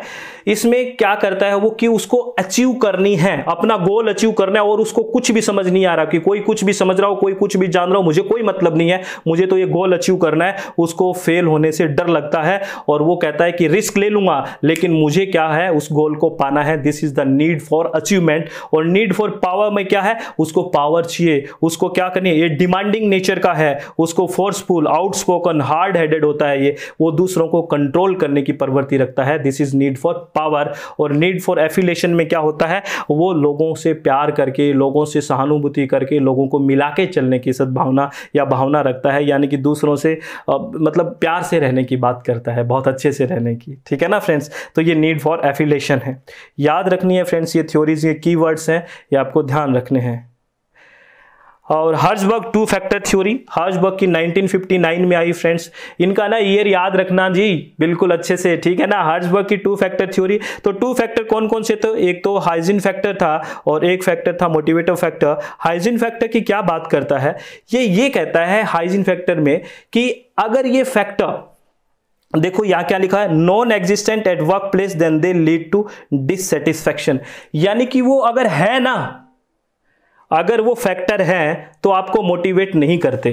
अगर वो फैक्टर नहीं है तो आप डिससेटिस्फाई हो जाओगे। ये कहता है हाइजीन फैक्टर मैं दोबारा बोल रहा हूँ, क्या कह रहा है? वो ये कह रहा है कि अगर इनका एग्जिस्टेंट है तो आपको मोटिवेट नहीं कर रहे हो।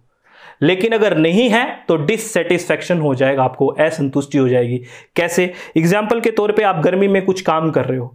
ठीक है ना? एसी चल रही है और आप काम कर रहे हो, बढ़िया से, कोई दिक्कत नहीं है। अब आपको एसी होने का एहसास नहीं है। आप एसी होने की वजह से काम नहीं कर रहे हैं, ऐसा मोटिवेशन नहीं है। आप कोई प्रोजेक्ट बना रहे हैं किसी कॉलेज का, किसी स्कूल का, या कुछ लेक्चर तैयार कर रहे हैं एसी चल रही है तो आपको एसी मोटिवेट कर रही है क्या? या फ़ैन मोटिवेट कर रहा है कि चल रहा है हाँ हाँ मैं कर लूँ। लेकिन अगर एसी बंद हो जाए और अगर फ़ैन बंद हो जाए तो आप काम नहीं कर पाओगे या नहीं होने से आपको डिससेटिस्फैक्शन हो गया। तो इस तरह के फैक्टर को बोलते हैं हाइजीन फैक्टर क्या बोलते हैं? हाइजीन फैक्टर ये याद रखना है फ्रेंड्स और एक होता है जी मोटिवेटर फैक्टर क्या होता है? तो हाइजीन फैक्टर में क्या है? हाइजीन फैक्टर में देखो, क्या है? पहले हाइजीन को ही समझ लेते हैं। मतलब आपका डिससेटिस्फेक्शन हाई लेवल पे है तो इसको किस लेवल पे ले जाना है? लो लेवल पे। जो आपकी असंतुष्टि बहुत हाई लेवल पे आ गई है, वो किस पे ले जानी है आपको? लो लेवल पे। जैसे हाइजीन फैक्टर कौन सा है? क्वालिटी ऑफ़ सुपरविजन है, आपका पे है, आपकी जॉब की सिक्योरिटी है, आपकी फ़िज़िकल वर्किंग कंडीशन है। ये एग्ज़ाम्पल पूछ सकते हैं कि नीचे लिखे में से कौन से हाइजीन फैक्टर हैं?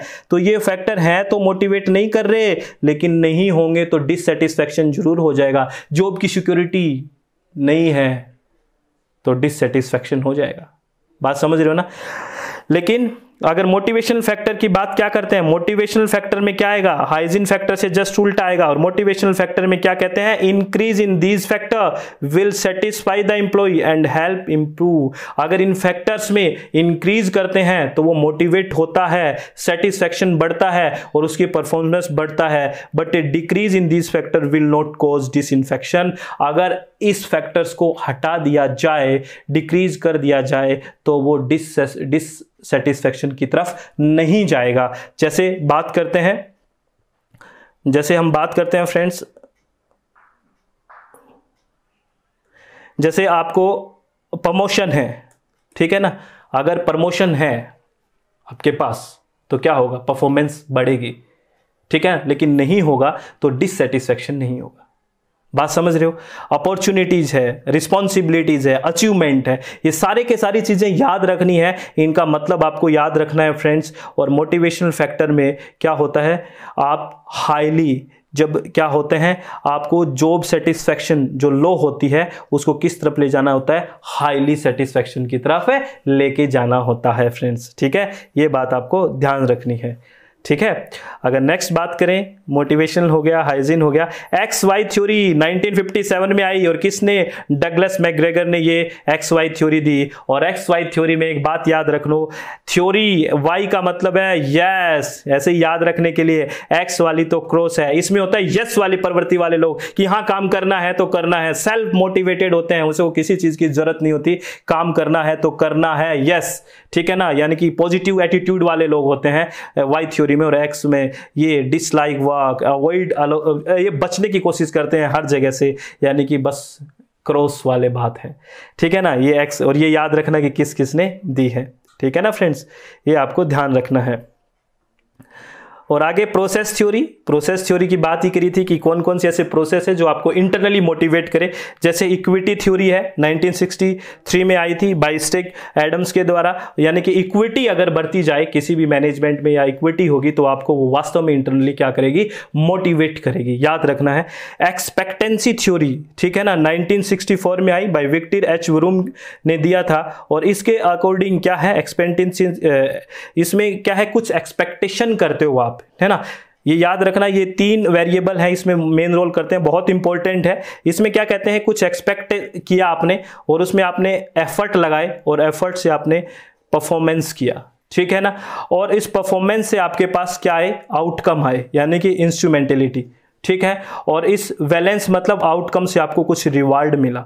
ये याद है ना याद रखना इंस्ट्रूमेंटेलिटी वैलेंस और एक्सपेक्टेंसी का मतलब पूछा जा सकता है फ्रेंड्स ध्यान रखना, ठीक है ना? यानी कि कुछ एक्सपेक्टेंसी थी आपकी, उसमें एफर्ट लगाए, उसमें आपने परफॉर्म किया और परफॉर्म करने में इंस्ट्रूमेंटेलिटी में क्या था? कुछ आउटकम निकल के आया रिज़ल्ट निकल के आया और वैलेंस में उस आउटकम से आपको क्या मिला? रिवार्ड मिला. क्या मिला? रिवार्ड मिला. ठीक है फ्रेंड्स ये बात आपको ध्यान रखनी है. ठीक है? और गोल सेटिंग थ्योरी 1960 में आई फ्रेंड्स, और ये एडविन लॉक के द्वारा दी गई। याद रखना है ईयर भी और किसके द्वारा? गोल सेटिंग थ्योरी क्या होती है फ्रेंड्स कि पहले गोल सेट कर दो, और तो उससे क्या आदमी मोटिवेट हो जाता है। अगर आपका गोल सेट है ही नहीं फ्रेंड्स आप मेरी बात सुनिए, अगर आपका गोल सेट नहीं है फ्रेंड्स तो आप मोटिवेट कैसे हो जाएँगे?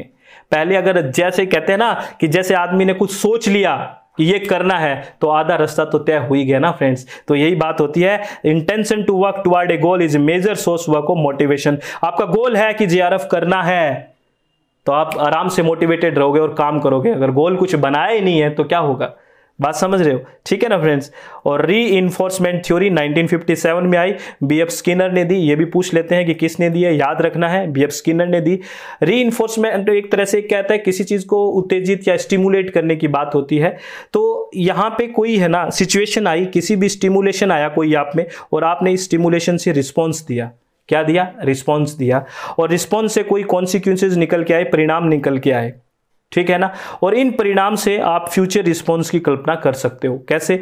अगर मान लो कोई घटना या कोई बात हुई थी, उसने आपने रिस्पॉन्स दिया और उससे पॉजिटिव परिणाम निकल के आए, यानी कि परिणाम बड़े अच्छे निकल के आए तो हम ये सोच सकते हैं, हम फ्यूचर में भी ऐसा ही रिस्पॉन्स करेंगे। अगर इस तरह की घटना होती है तो अगर नेगेटिव आएँगे कॉन्सिक्यूस तो हम उसको बदलने की कोशिश करेंगे। यही होती है री थ्योरी ठीक है फ्रेंड्स आगे बात करते हैं फ्रेंड्स आगे आ गया लीडरशिप और लीडरशिप का तो मतलब होता ही है। किसी भी लीडरशिप क्या है? Is the ability of a manager to induce the subordinate to work with confidence and zeal वास्तव में लीडरशिप क्या होती है? किसी भी मैनेजर की लीड करने की एक क्षमता होती है, जो सबऑर्डिनेट को वो क्या करता है? इंड्यूस करता है कि वो कॉन्फिडेंस और एक जील के साथ काम करे। वही तो एक लीडर होता है। अच्छा और लीडर लीडरशिप के स्टाइल ये आपसे पूछा जा सकता है। अगर पहले की बात करें तो पहला लीडरशिप स्टाइल में क्या है? एक ऑथोरिटेरियन या फिर ऑटोक्रेटिक यानी कि तानाशाही प्रवृत्ति होती है। आपने देखा है, तानाशाही प्रवृत्ति के लीडर होते हैं, बहुत से देश में भी हैं, ठीक है। पार्टिसिपेटिव और डेमोक्रेटिक भी होते हैं, पार्टिसिपेटिव या डेमोक्रेटिक यानी कि एक तरह से पार्टिसिपेट की तरह के होते हैं, डेमोक्रेटिक यानी कि स्वतंत्र तरह के जैसे अपनी कंट्री में है, डेमोक्रेटिक है। और डेलीगेटिंग और फ्री रेंज में होते हैं, जिसमें पूरा एक तरह से फ्री रेन होता है। एक तरह से फ्री शासन काल होता है, एक तरह से डेलीगेट कर देते हैं काम को बहुत ज़्यादा। तो ये एक लीडरशिप स्टाइल है तीन। कौन कौन से? एक तो तानाशाही प्रवृत्ति यानी कि ऑथोरिटेरियन हो सकता है, या पार्टिसिपेटिव या डेमोक्रेटिक हो सकता है, या डेलीगेटिंग या फ्री रेन की तरह प्रवृत्ति का हो सकता है लीडरशिप स्टाइल ठीक है फ्रेंड्स आगे ये स्टाइल आपको ध्यान रखने हैं फ्रेंड्स अगर आगे बात करें फ्रेंड्स तो थ्योरीज ऑफ़ लीडरशिप है, और थ्योरीज ऑफ़ लीडरशिप में कई सारी थ्योरीज हैं, जैसे ग्रेटमैन थ्योरी है ट्रेड थ्योरी है कंटिजेंसी कंटिजेंसी थ्योरी है, ठीक है? कंटिजेंसी थ्योरी है। उसके बाद अगर बात करें फ्रेंड्स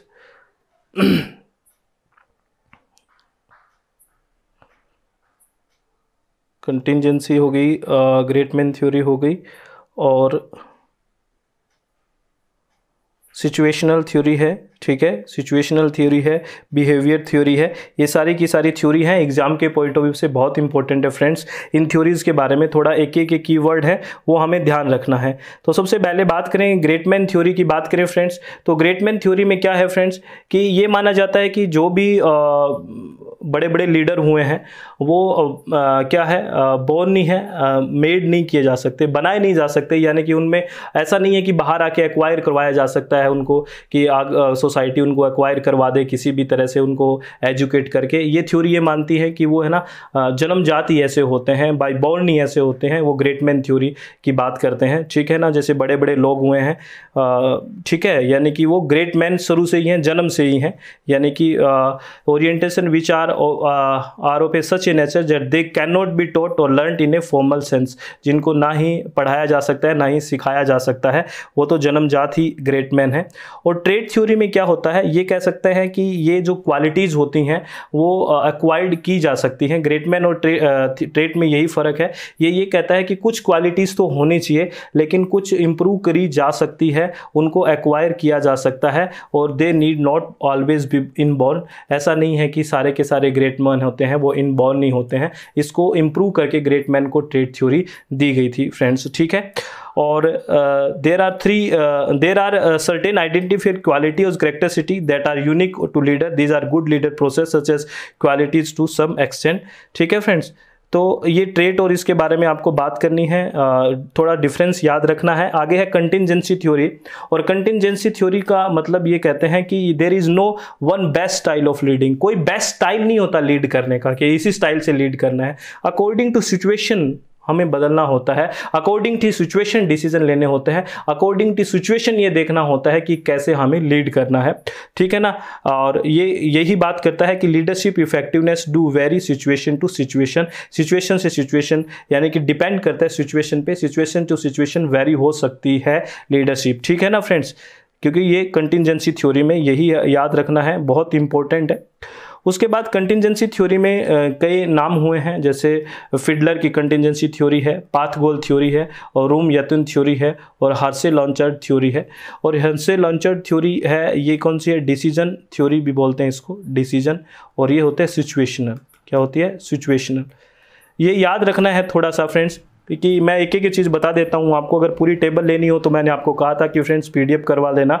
तो इसमें क्या होता है? इसमें लीडरशिप स्टाइल क्या होगा? इसमें फिडलर में, इसमें टास्क और रिलेशनशिप ओरिएंटेड दोनों पे ध्यान दिया जाता है टास्क पे भी यानी कि काम पे भी और रिलेशनशिप पे भी। या तो ये टास्क रिलेटेड होगी या फिर ये रिलेशन ओरिएंटेड होगी। और ये डायरेक्ट टू अचीवमेंट और इसको क्या है? ये पाथ गोल थ्योरी है तो डायरेक्ट अचीवमेंट की तरफ़ ध्यान देगी। और ये ऑटोक्रेटिक या फिर पार्टिसिपेटिव हो सकती है, तानाशाही की भी हो सकती है या फिर पार्टिस पार्टिसिपेटिव भी हो सकती है और task behaviour to relationship behaviour इसमें डिसीज़न कहाँ है? टास्क बिहेवियर से किधर जाना है? रिलेशनशिप बिहेवियर की तरफ़ जाना है। ठीक है ना फ्रेंड्स तो ये आपको ध्यान रखना है। यहाँ ये Fiedler contingency theory path goal theory और वरूम जो यतन थ्योरी है, जो सिचुएशन के अकॉर्डिंग डिसीज़न होते हैं ना सिचुएशन के अकॉर्डिंग और ये होते हैं डिसीज़न हार से लॉन्चर थ्योरी ये सीधा पूछ लेते हैं कि डिसीज़न थ्योरी किसने दी? तो हार से लॉन्चर ने।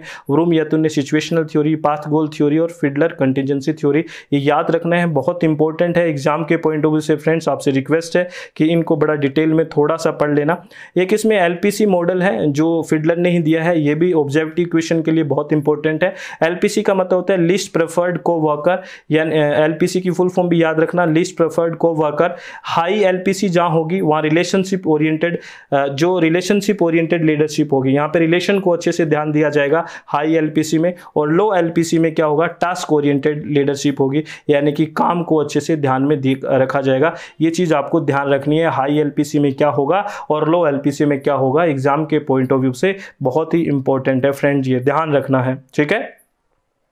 बिहेवियरल थ्योरी में क्या होता है फ्रेंड्स बिहेवियर थ्योरी में क्या होता है, कोई लीडर कैसा बिहेव कर रहा है, उसके अकॉर्डिंग ही लीडरशिप करता है वो। यानी कि कौन सी सिचुएशन में किस तरह से बिहेव कर रहा है। तो ये नाम से ही पता लग रहा है कि बिहेवियर थ्योरी में क्या होगा। एक्चुअली में this theories advocate the leadership is shown by acts यानी कि किस तरह वो एक्ट कर रहा है rather than trait and that the leadership result of effectiveness of behaviour यानी कि वो किस सिचुएशन में कैसा व्यवहार कर रहा है, इस थ्योरी में इस तरह की बात की जाती है। यानी कि पूरा का पूरा कंसंट्रेशन किस पे है?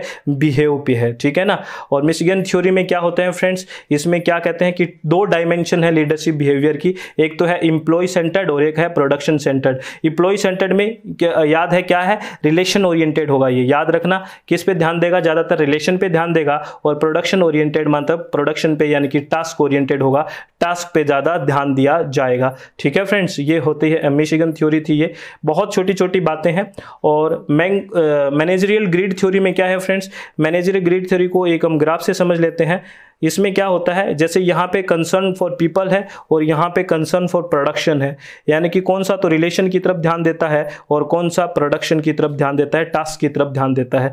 यानी कि वन नाइन वैल्यू है तो इसका सीधा सा मतलब है, ये जो वन वैल्यू है, ये किसकी है? ये वन वैल्यू है कंसर्न ऑफ़ प्रोडक्शन की और नाइन किसकी है वो? ये कंसर्न ऑफ़ पीपल की। यानी कि वो कंट्री क्लब यानी कि वो रिलेशन पे ज़्यादा ध्यान देता है कंट्री क्लब में आता है, ये याद रखना। ठीक है ना फ्रेंड्स और नाइन नाइन है किसी का? यानी कि नाइन इसकी ये वैल्यू है प्रोडक्शन की और नाइन ये पीपल कंसर्न की है तो यानी कि ये पूरा टीम वर्क में काम करता है, पूरा टीम से ही प्रोडक्शन करवाता है और उसका पीपल का भी कंसर्न अच्छा रहता है। ये याद रखना है 1.1 में इसमें इंप्रूवमेंट की बहुत संभावना है। ना तो ये प्रोडक्शन की तरफ़ टास्क की तरफ़ ध्यान देता है, ना पीपल की तरफ़ ध्यान दे रहा है। और इसमें क्या है, इसमें ये नाइन यानी कि इसमें टास्क की प्रवृत्ति ज़्यादा अच्छी है काम करने की, यानी कि इसमें ये रिलेशन यानी कि कंट्री क्लब वाली बात नहीं है तो ये होगा टास्क में। ठीक है? मैनेजमेंट का ये गुण क्या है? कंट्री क्लब है, ये क्या है मैनेजमेंट का टीम का, ये क्या है? ये इम्प्रूव करने की संभावना इसमें पूरी की पूरी और इसमें क्या है? टास्क ओरिएंटेड है। तो ये बड़ा अच्छा है, ये याद रखना मैनेजरियल ग्रिड थ्योरी क्या थी? ठीक है फ्रेंड्स और लिकट्स का फोर्स सिस्टम मैनेजमेंट है। लिकट का फोर्स सिस्टम मैनेजमेंट क्या कहता है?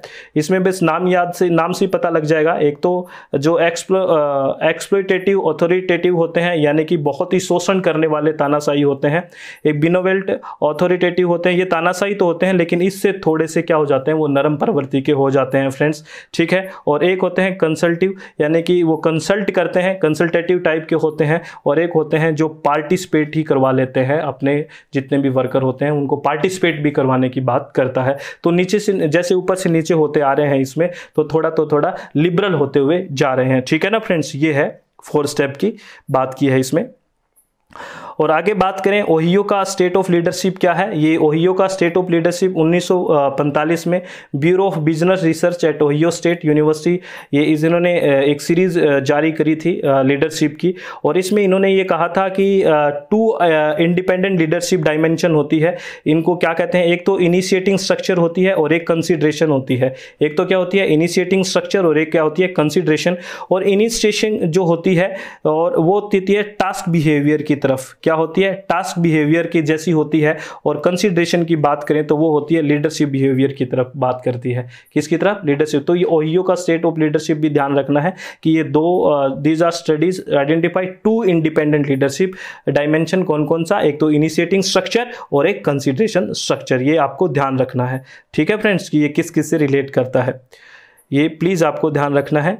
और आगे लास्ट टॉपिक है फ्रेंड्स ये है corporate governance and business ethics ठीक है? कॉरपोरेट का मतलब क्या होता है? एक तरह से कंपनी ठीक है? कंपनी का गवर्नेंस यानी कि शासन। ठीक है? और बिज़नेस में एथिक्स यानी कि नैतिकता की बात करता है।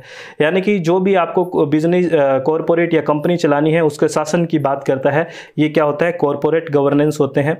तो इसमें क्या क्या है corporate governance report to way of corporation is govern यानी कि कौन से वे से कंपनी शासित होती है, कौन से वे से कॉरपोरेट है, वो गवर्न होती है, ठीक है? और इसमें ये सारी बातें हैं कि कौन सी तकनीक है जिससे कंपनी डायरेक्ट होती है या निर्देशित होती है या उसको मैनेज किया जाता है। और इसमें इसमें जो बात याद रखने की बात है फ्रेंड्स ये है it is actually conducted by the board of directors and the concern committee जो भी ये गवर्न की बात की जाती है, किसी भी कॉरपोरेशन को ये कौन करता है, कौन कंडक्ट करता है, ये बोर्ड ऑफ़ डायरेक्टर्स और कंसर्न कमेटी है, वो करती है। यानी कि कोई भी ऑर्गेनाइजेशन है ना फ्रेंड तो वो गवर्न तो होगी ना तो गवर्न की बात करता है, कोई भी कॉरपोरेट है कंपनी है, वो कैसे गवर्न होती है, कैसे शासित होती है, उसकी बात की गई है फ्रेंड्स इसमें, ठीक है? ठीक है? तो ये बेसिक बेसिक बातें हैं इसमें तो कुछ ऐसा है नहीं। तो code of corporation corporate governance की बात करें कोड ऑफ़ कॉरपोरेट गवर्नेंस तो इसमें ये थोड़ी सी बात ये समझाने की uh, कोशिश की गई है फ्रेंड कि uh, जैसे कंपनी लो है है ना? कंपनी एक्ट है कंपनी लो है आपको पता है। तो इसके होते हुए कोड ऑफ़ कॉरपोरेट गवर्नेंस की ज़रूरत क्यों पड़ी ऐसा क्यों आया? तो इसमें थोड़ी सी बात यह है कि जो कंपनी लो होता है ना जो भी कंपनी लो है वो ओनली प्रिस्क्राइब करता है प्रोसीजरियल मैटर uh, कि कैस किस प्रोसेस से गुजरना है ये प्रोसेस बता देता है ठीक है ना? और या फिर ये बता देता है कि कैसे आ, किसी ने कोई गलत काम किया है तो उसको कैसे पेनल्टी देनी है इस तरह के काम वो कर देता है कौन सा कंपनी लॉ में। लेकिन कोड ऑफ़ कॉरपोरेट गवर्नेंस में सिर्फ़ प्रोसीजर नहीं बताया जाता कैसे काम करना है या किस कैसे इसको और बेहतर तरीके से किया जा सकता है कैसे उसे बहुत बढ़िया तरीके से किया जा सकता है। यानी कि जैसे आपको जैसे जे करना है तो एक मैंने ऐसे ही कह दिया कि एक, देर को इस नियम से चलना है कि पेपर वन और पेपर टू आएगा। पेपर वन में इतने मार्क्स लेने की संभावना है अगर है आपकी और पेपर टू में इतने हैं तो नेट हो जाएगा। ये बात मैंने बता दी आपको लेकिन आपको बेस्ट वे से कैसे आप रिज़ल्ट दे सकते हो? यानी कि ये है कोड ऑफ़ कॉरपोरेट गवर्नेंस यानी कि बेस्ट आप कैसे कुछ अच्छा कर सकते हो। ठीक है फ्रेंड्स तो ये इसलिए इसकी ज़रूरत पड़ी। और कंपनी लो यही बात है आगे लिख भी दी है। Company laws doesn't prescribe good corporate management practice but code of corporate governance prescribe such practice ठीक है? ये सारी बातें यही बातें इसमें लिखी हुई है प्लीज़ ये याद रखना आ, ये सिंपल सिंपल बातें हैं। और प्रिंसिपल क्या होते हैं? गुड गवर्नेंस के। अच्छी गवर्नेंस के क्या होते हैं? गुड गवर्नेंस तो अब मोदी सरकार में आपने बहुत से सुना होगा गुड गवर्नेंस यानी कि ऑनेस्टी ईमानदारी होनी चाहिए ट्रांसपेरेंसी बिल्कुल पारदर्शिता अकाउंटेबिलिटी जवाबदेहिता रिस्पॉन्सिबिलिटी होनी चाहिए उत्तरदायित्व यानी कि होना चाहिए इंडिपेंडेंस होना चाहिए स्वतंत्र फेयरनेस होनी चाहिए सोशल रिस्पॉन्सिबिलिटी भी होनी चाहिए सामाजिक दायित्व भी होना चाहिए ये सारी की सारी बात है। Content of code of corporate governance यानी कौन कौन से कंटेंट होते हैं कॉरपोरेट uh, गवर्नेंस में? तो कौन कौन से होते हैं? एक तो कंपोजिशन होती है बोर्ड ऑफ़ डायरेक्टर की तो कैसे हो सकते हैं? फुल टाइम डायरेक्टर होते हैं पार्ट टाइम डायरेक्टर हो सकते हैं और इंडिपेंडेंट डायरेक्टर होते हैं। इंडिपेंडेंट डायरेक्टर जो काम मिला उसी टाइम आके करा, उसी, यानी कि मंथली बेसिस पे ना होके ये इंडिपेंडेंट है। और सेबी हैज़ प्रिस्क्राइब्ड ये बहुत इंपॉर्टेंट डाटा है, ये आपको एग्ज़ाम के पॉइंट ऑफ़ व्यू से ध्यान रखना है। सेबी ने प्रिस्क्राइब किया है कि जो सारी की सारी कंपनी वो share are listed in any stock exchange must be list 50 percent independent directors यानी कि जो भी सेबी ने प्रिस्क्राइब किया है कि वो सारी की सारी कंपनीज़ जिसका शेयर लिस्टेड है स्टॉक एक्सचेंज में, उनको कम से कम 50 परसेंट इंडिपेंडेंट डायरेक्टर रखने होंगे। ठीक है ना? Must have at least 50 percent independent director ये आपको ध्यान रखना है फ्रेंड्स ठीक है? इसमें ज़्यादा इंपॉर्टेंट बात और है नहीं कोई। ठीक है? एग्जीक्यूटिव डायरेक्टर भी होते हैं। डिस्क्लोजर ऑफ़ इंफॉर्मेशन यानी कि कोई ऐसी इंफॉर्मेशन है जिससे डिस्क्लोज करके पूरी ऑर्गेनाइजेशन का अच्छे से काम चल सकता है तो आपको इन्फॉर्मेशन को भी क्या करना चाहिए? डिस्क्लोज करना चाहिए। और मैनेजमेंट प्रैक्टिस मैनेजमेंट प्रैक्टिस में क्या आएगा? पोस्ट कोप क्या आएगा? पोस्ट कोप जो हमने पीछे पढ़ा है ना? ठीक है ना? यानी कि मैनेजमेंट प्रैक्टिस में सारे के सारे क्या आ जाएँगे? पोस्ट कोप यानी कि प्लानिंग वगैरह सब आ जाएँगे। और ये क्या होना चाहिए? फेयरनेस ट्रांसपेरेंसी और अकाउंटेबिलिटी वाली होनी चाहिए। ठीक है फ्रेंड्स बिल्कुल सिंपल बातें हैं, इस चैप्टर में कुछ है ही नहीं। ठीक है? और आगे बात करते हैं फ्रेंड्स बिज़नेस एथिक्स की। और एथिक्स में होती है नैतिकता, आपकी मॉरल वैल्यूज़ वो तो हर जगह चाहिए। ठीक है ना? Business ethics refer to code of conduct that business are expected to follow while doing business यानी कि आपको बिल्कुल कोड ऑफ़ कंडक्ट के अकॉर्डिंग ही काम करना चाहिए, या आपकी एथिकल वैल्यूज़ होनी चाहिए। क्योंकि देखो मार्केटिंग की भी स्ट्रेटेजी बदल गई है। पहले मार्केटिंग क्या होता था? सामान को बेचना होता था। लेकिन अब मार्केटिंग का ध्येय एम बदल चुका है। अब मार्केटिंग में हम क्या पढ़ते हैं? कि सिर्फ़ सामान बेचना नहीं है मार्केटिंग में हमें कस्टमर का सेटिस्फेक्शन भी ज़रूरी है। तो ये सारी हमने एथिकल वैल्यूज़ हैं। ऐसा नहीं है कि आप सामान बेचे और निकल लिए। आपको कस्टमर की क्या है? आपको कस्टमर का सेटिस्फेक्शन तो वही बात एथिक्स की आ जाती है। कोई भी बिज़नेस में आप हो एथिकल वैल्यूज़ आपको रखनी होगी, ठीक है? और एथिकल वैल्यूज़ के क्या क्या प्रिंसिपल हो सकते हैं, होते हैं फ्रेंड्स इसमें लॉयल्टी होती है, किस सिद्धांत पे काम करता है? लॉयल्टी होगी ऑनेस्टी होती है और इंटीग्रिटी होगी। इंटीग्रिटी को कहते हैं एक तरह से सत्यानिष्ठा होगी, यानी कि सिर्फ़ मैक्सिमम प्रॉफिट की तरफ़ ध्यान नहीं देना है, ठीक है? मैक्सिमम प्रॉफिट की ध्यान नहीं देना। पहले क्या होता था? मैक्सिमम प्रॉफिट की तरफ़ ध्यान देना था, होता था किसी भी बिज़नेस का। अब मैक्सिमम प्रॉफिट नहीं देना ठीक है ना? हमें आ, सिर्फ़ सेटिस्फेक्शन की तरफ़ भी ध्यान देना है जो भी हमारा कंज्यूमर है उसकी तरफ़ फेयरनेस होगी ठीक है? फेयरनेस होनी चाहिए। No exercise the wrong use of their power ठीक है? और लीडरशिप क्वालिटी होनी चाहिए। Any executive if ethical should be leader to other यानी कि लीडर की क्वालिटी होनी चाहिए। एथिकल वे से वो आपको लीड करे ऐसा ही होना चाहिए। ठीक है ना? ये सारे के सारे प्रिंसिपल है एथिकल वैल्यूज़ के ठीक है? और एक है बिज़नेस एथिक्स और सी एस आर यानी कि कॉरपोरेट सोशल रिस्पॉन्सिबिलिटी इसमें क्या डिफरेंस होता है कि बिज़नेस एथिक्स में क्या है? होल बिहेवियर होता है बिज़नेस का। पूरा का पूरा बिज़नेस में आपको नैतिकता रखनी है। और ये पूरे के पूरे बिज़नेस एथिक्स का एक एलिमेंट है सी एस आर ये एक एक अंग है, एक टुकड़ा है सी एस आर यानी कि इसमें ये ब्रॉड टर्म है, ये इसमें ही आता है। ठीक है ना? याद रखना बिज़नेस एथिक्स क्या है? एक ब्रॉड टर्म है। इसमें क्या है? सी एस आर आता है। कॉर्पोरेट सोशल रिस्पॉन्सिबिलिटी भी एक इसमें एलिमेंट है। तो यानी कि बिज़नेस एथिक्स रखना है। सी एस आर आपको कॉर्पोरेट से सोशल रिस्पॉन्सिबिलिटी भी होती है। आप काम करते हो तो ज़रूरी होता है कि समाज से ही कमा रहे हो बिज़नेस करके तो समाज को कुछ दो। समाज के लिए आपका इन्वायरमेंट खराब कर रहे हो, समाज के लिए, समाज के आप रिसोर्स यूज़ कर रहे हो तो आप समाज को भी आपको कुछ देना चाहिए। दिस इज़ सोशल रिस्पॉन्सिबिलिटी होती है। तो ये परसेंटेज में रखी जाती है। कितना परसेंट देना चाहिए? चाहिए, ठीक है ना?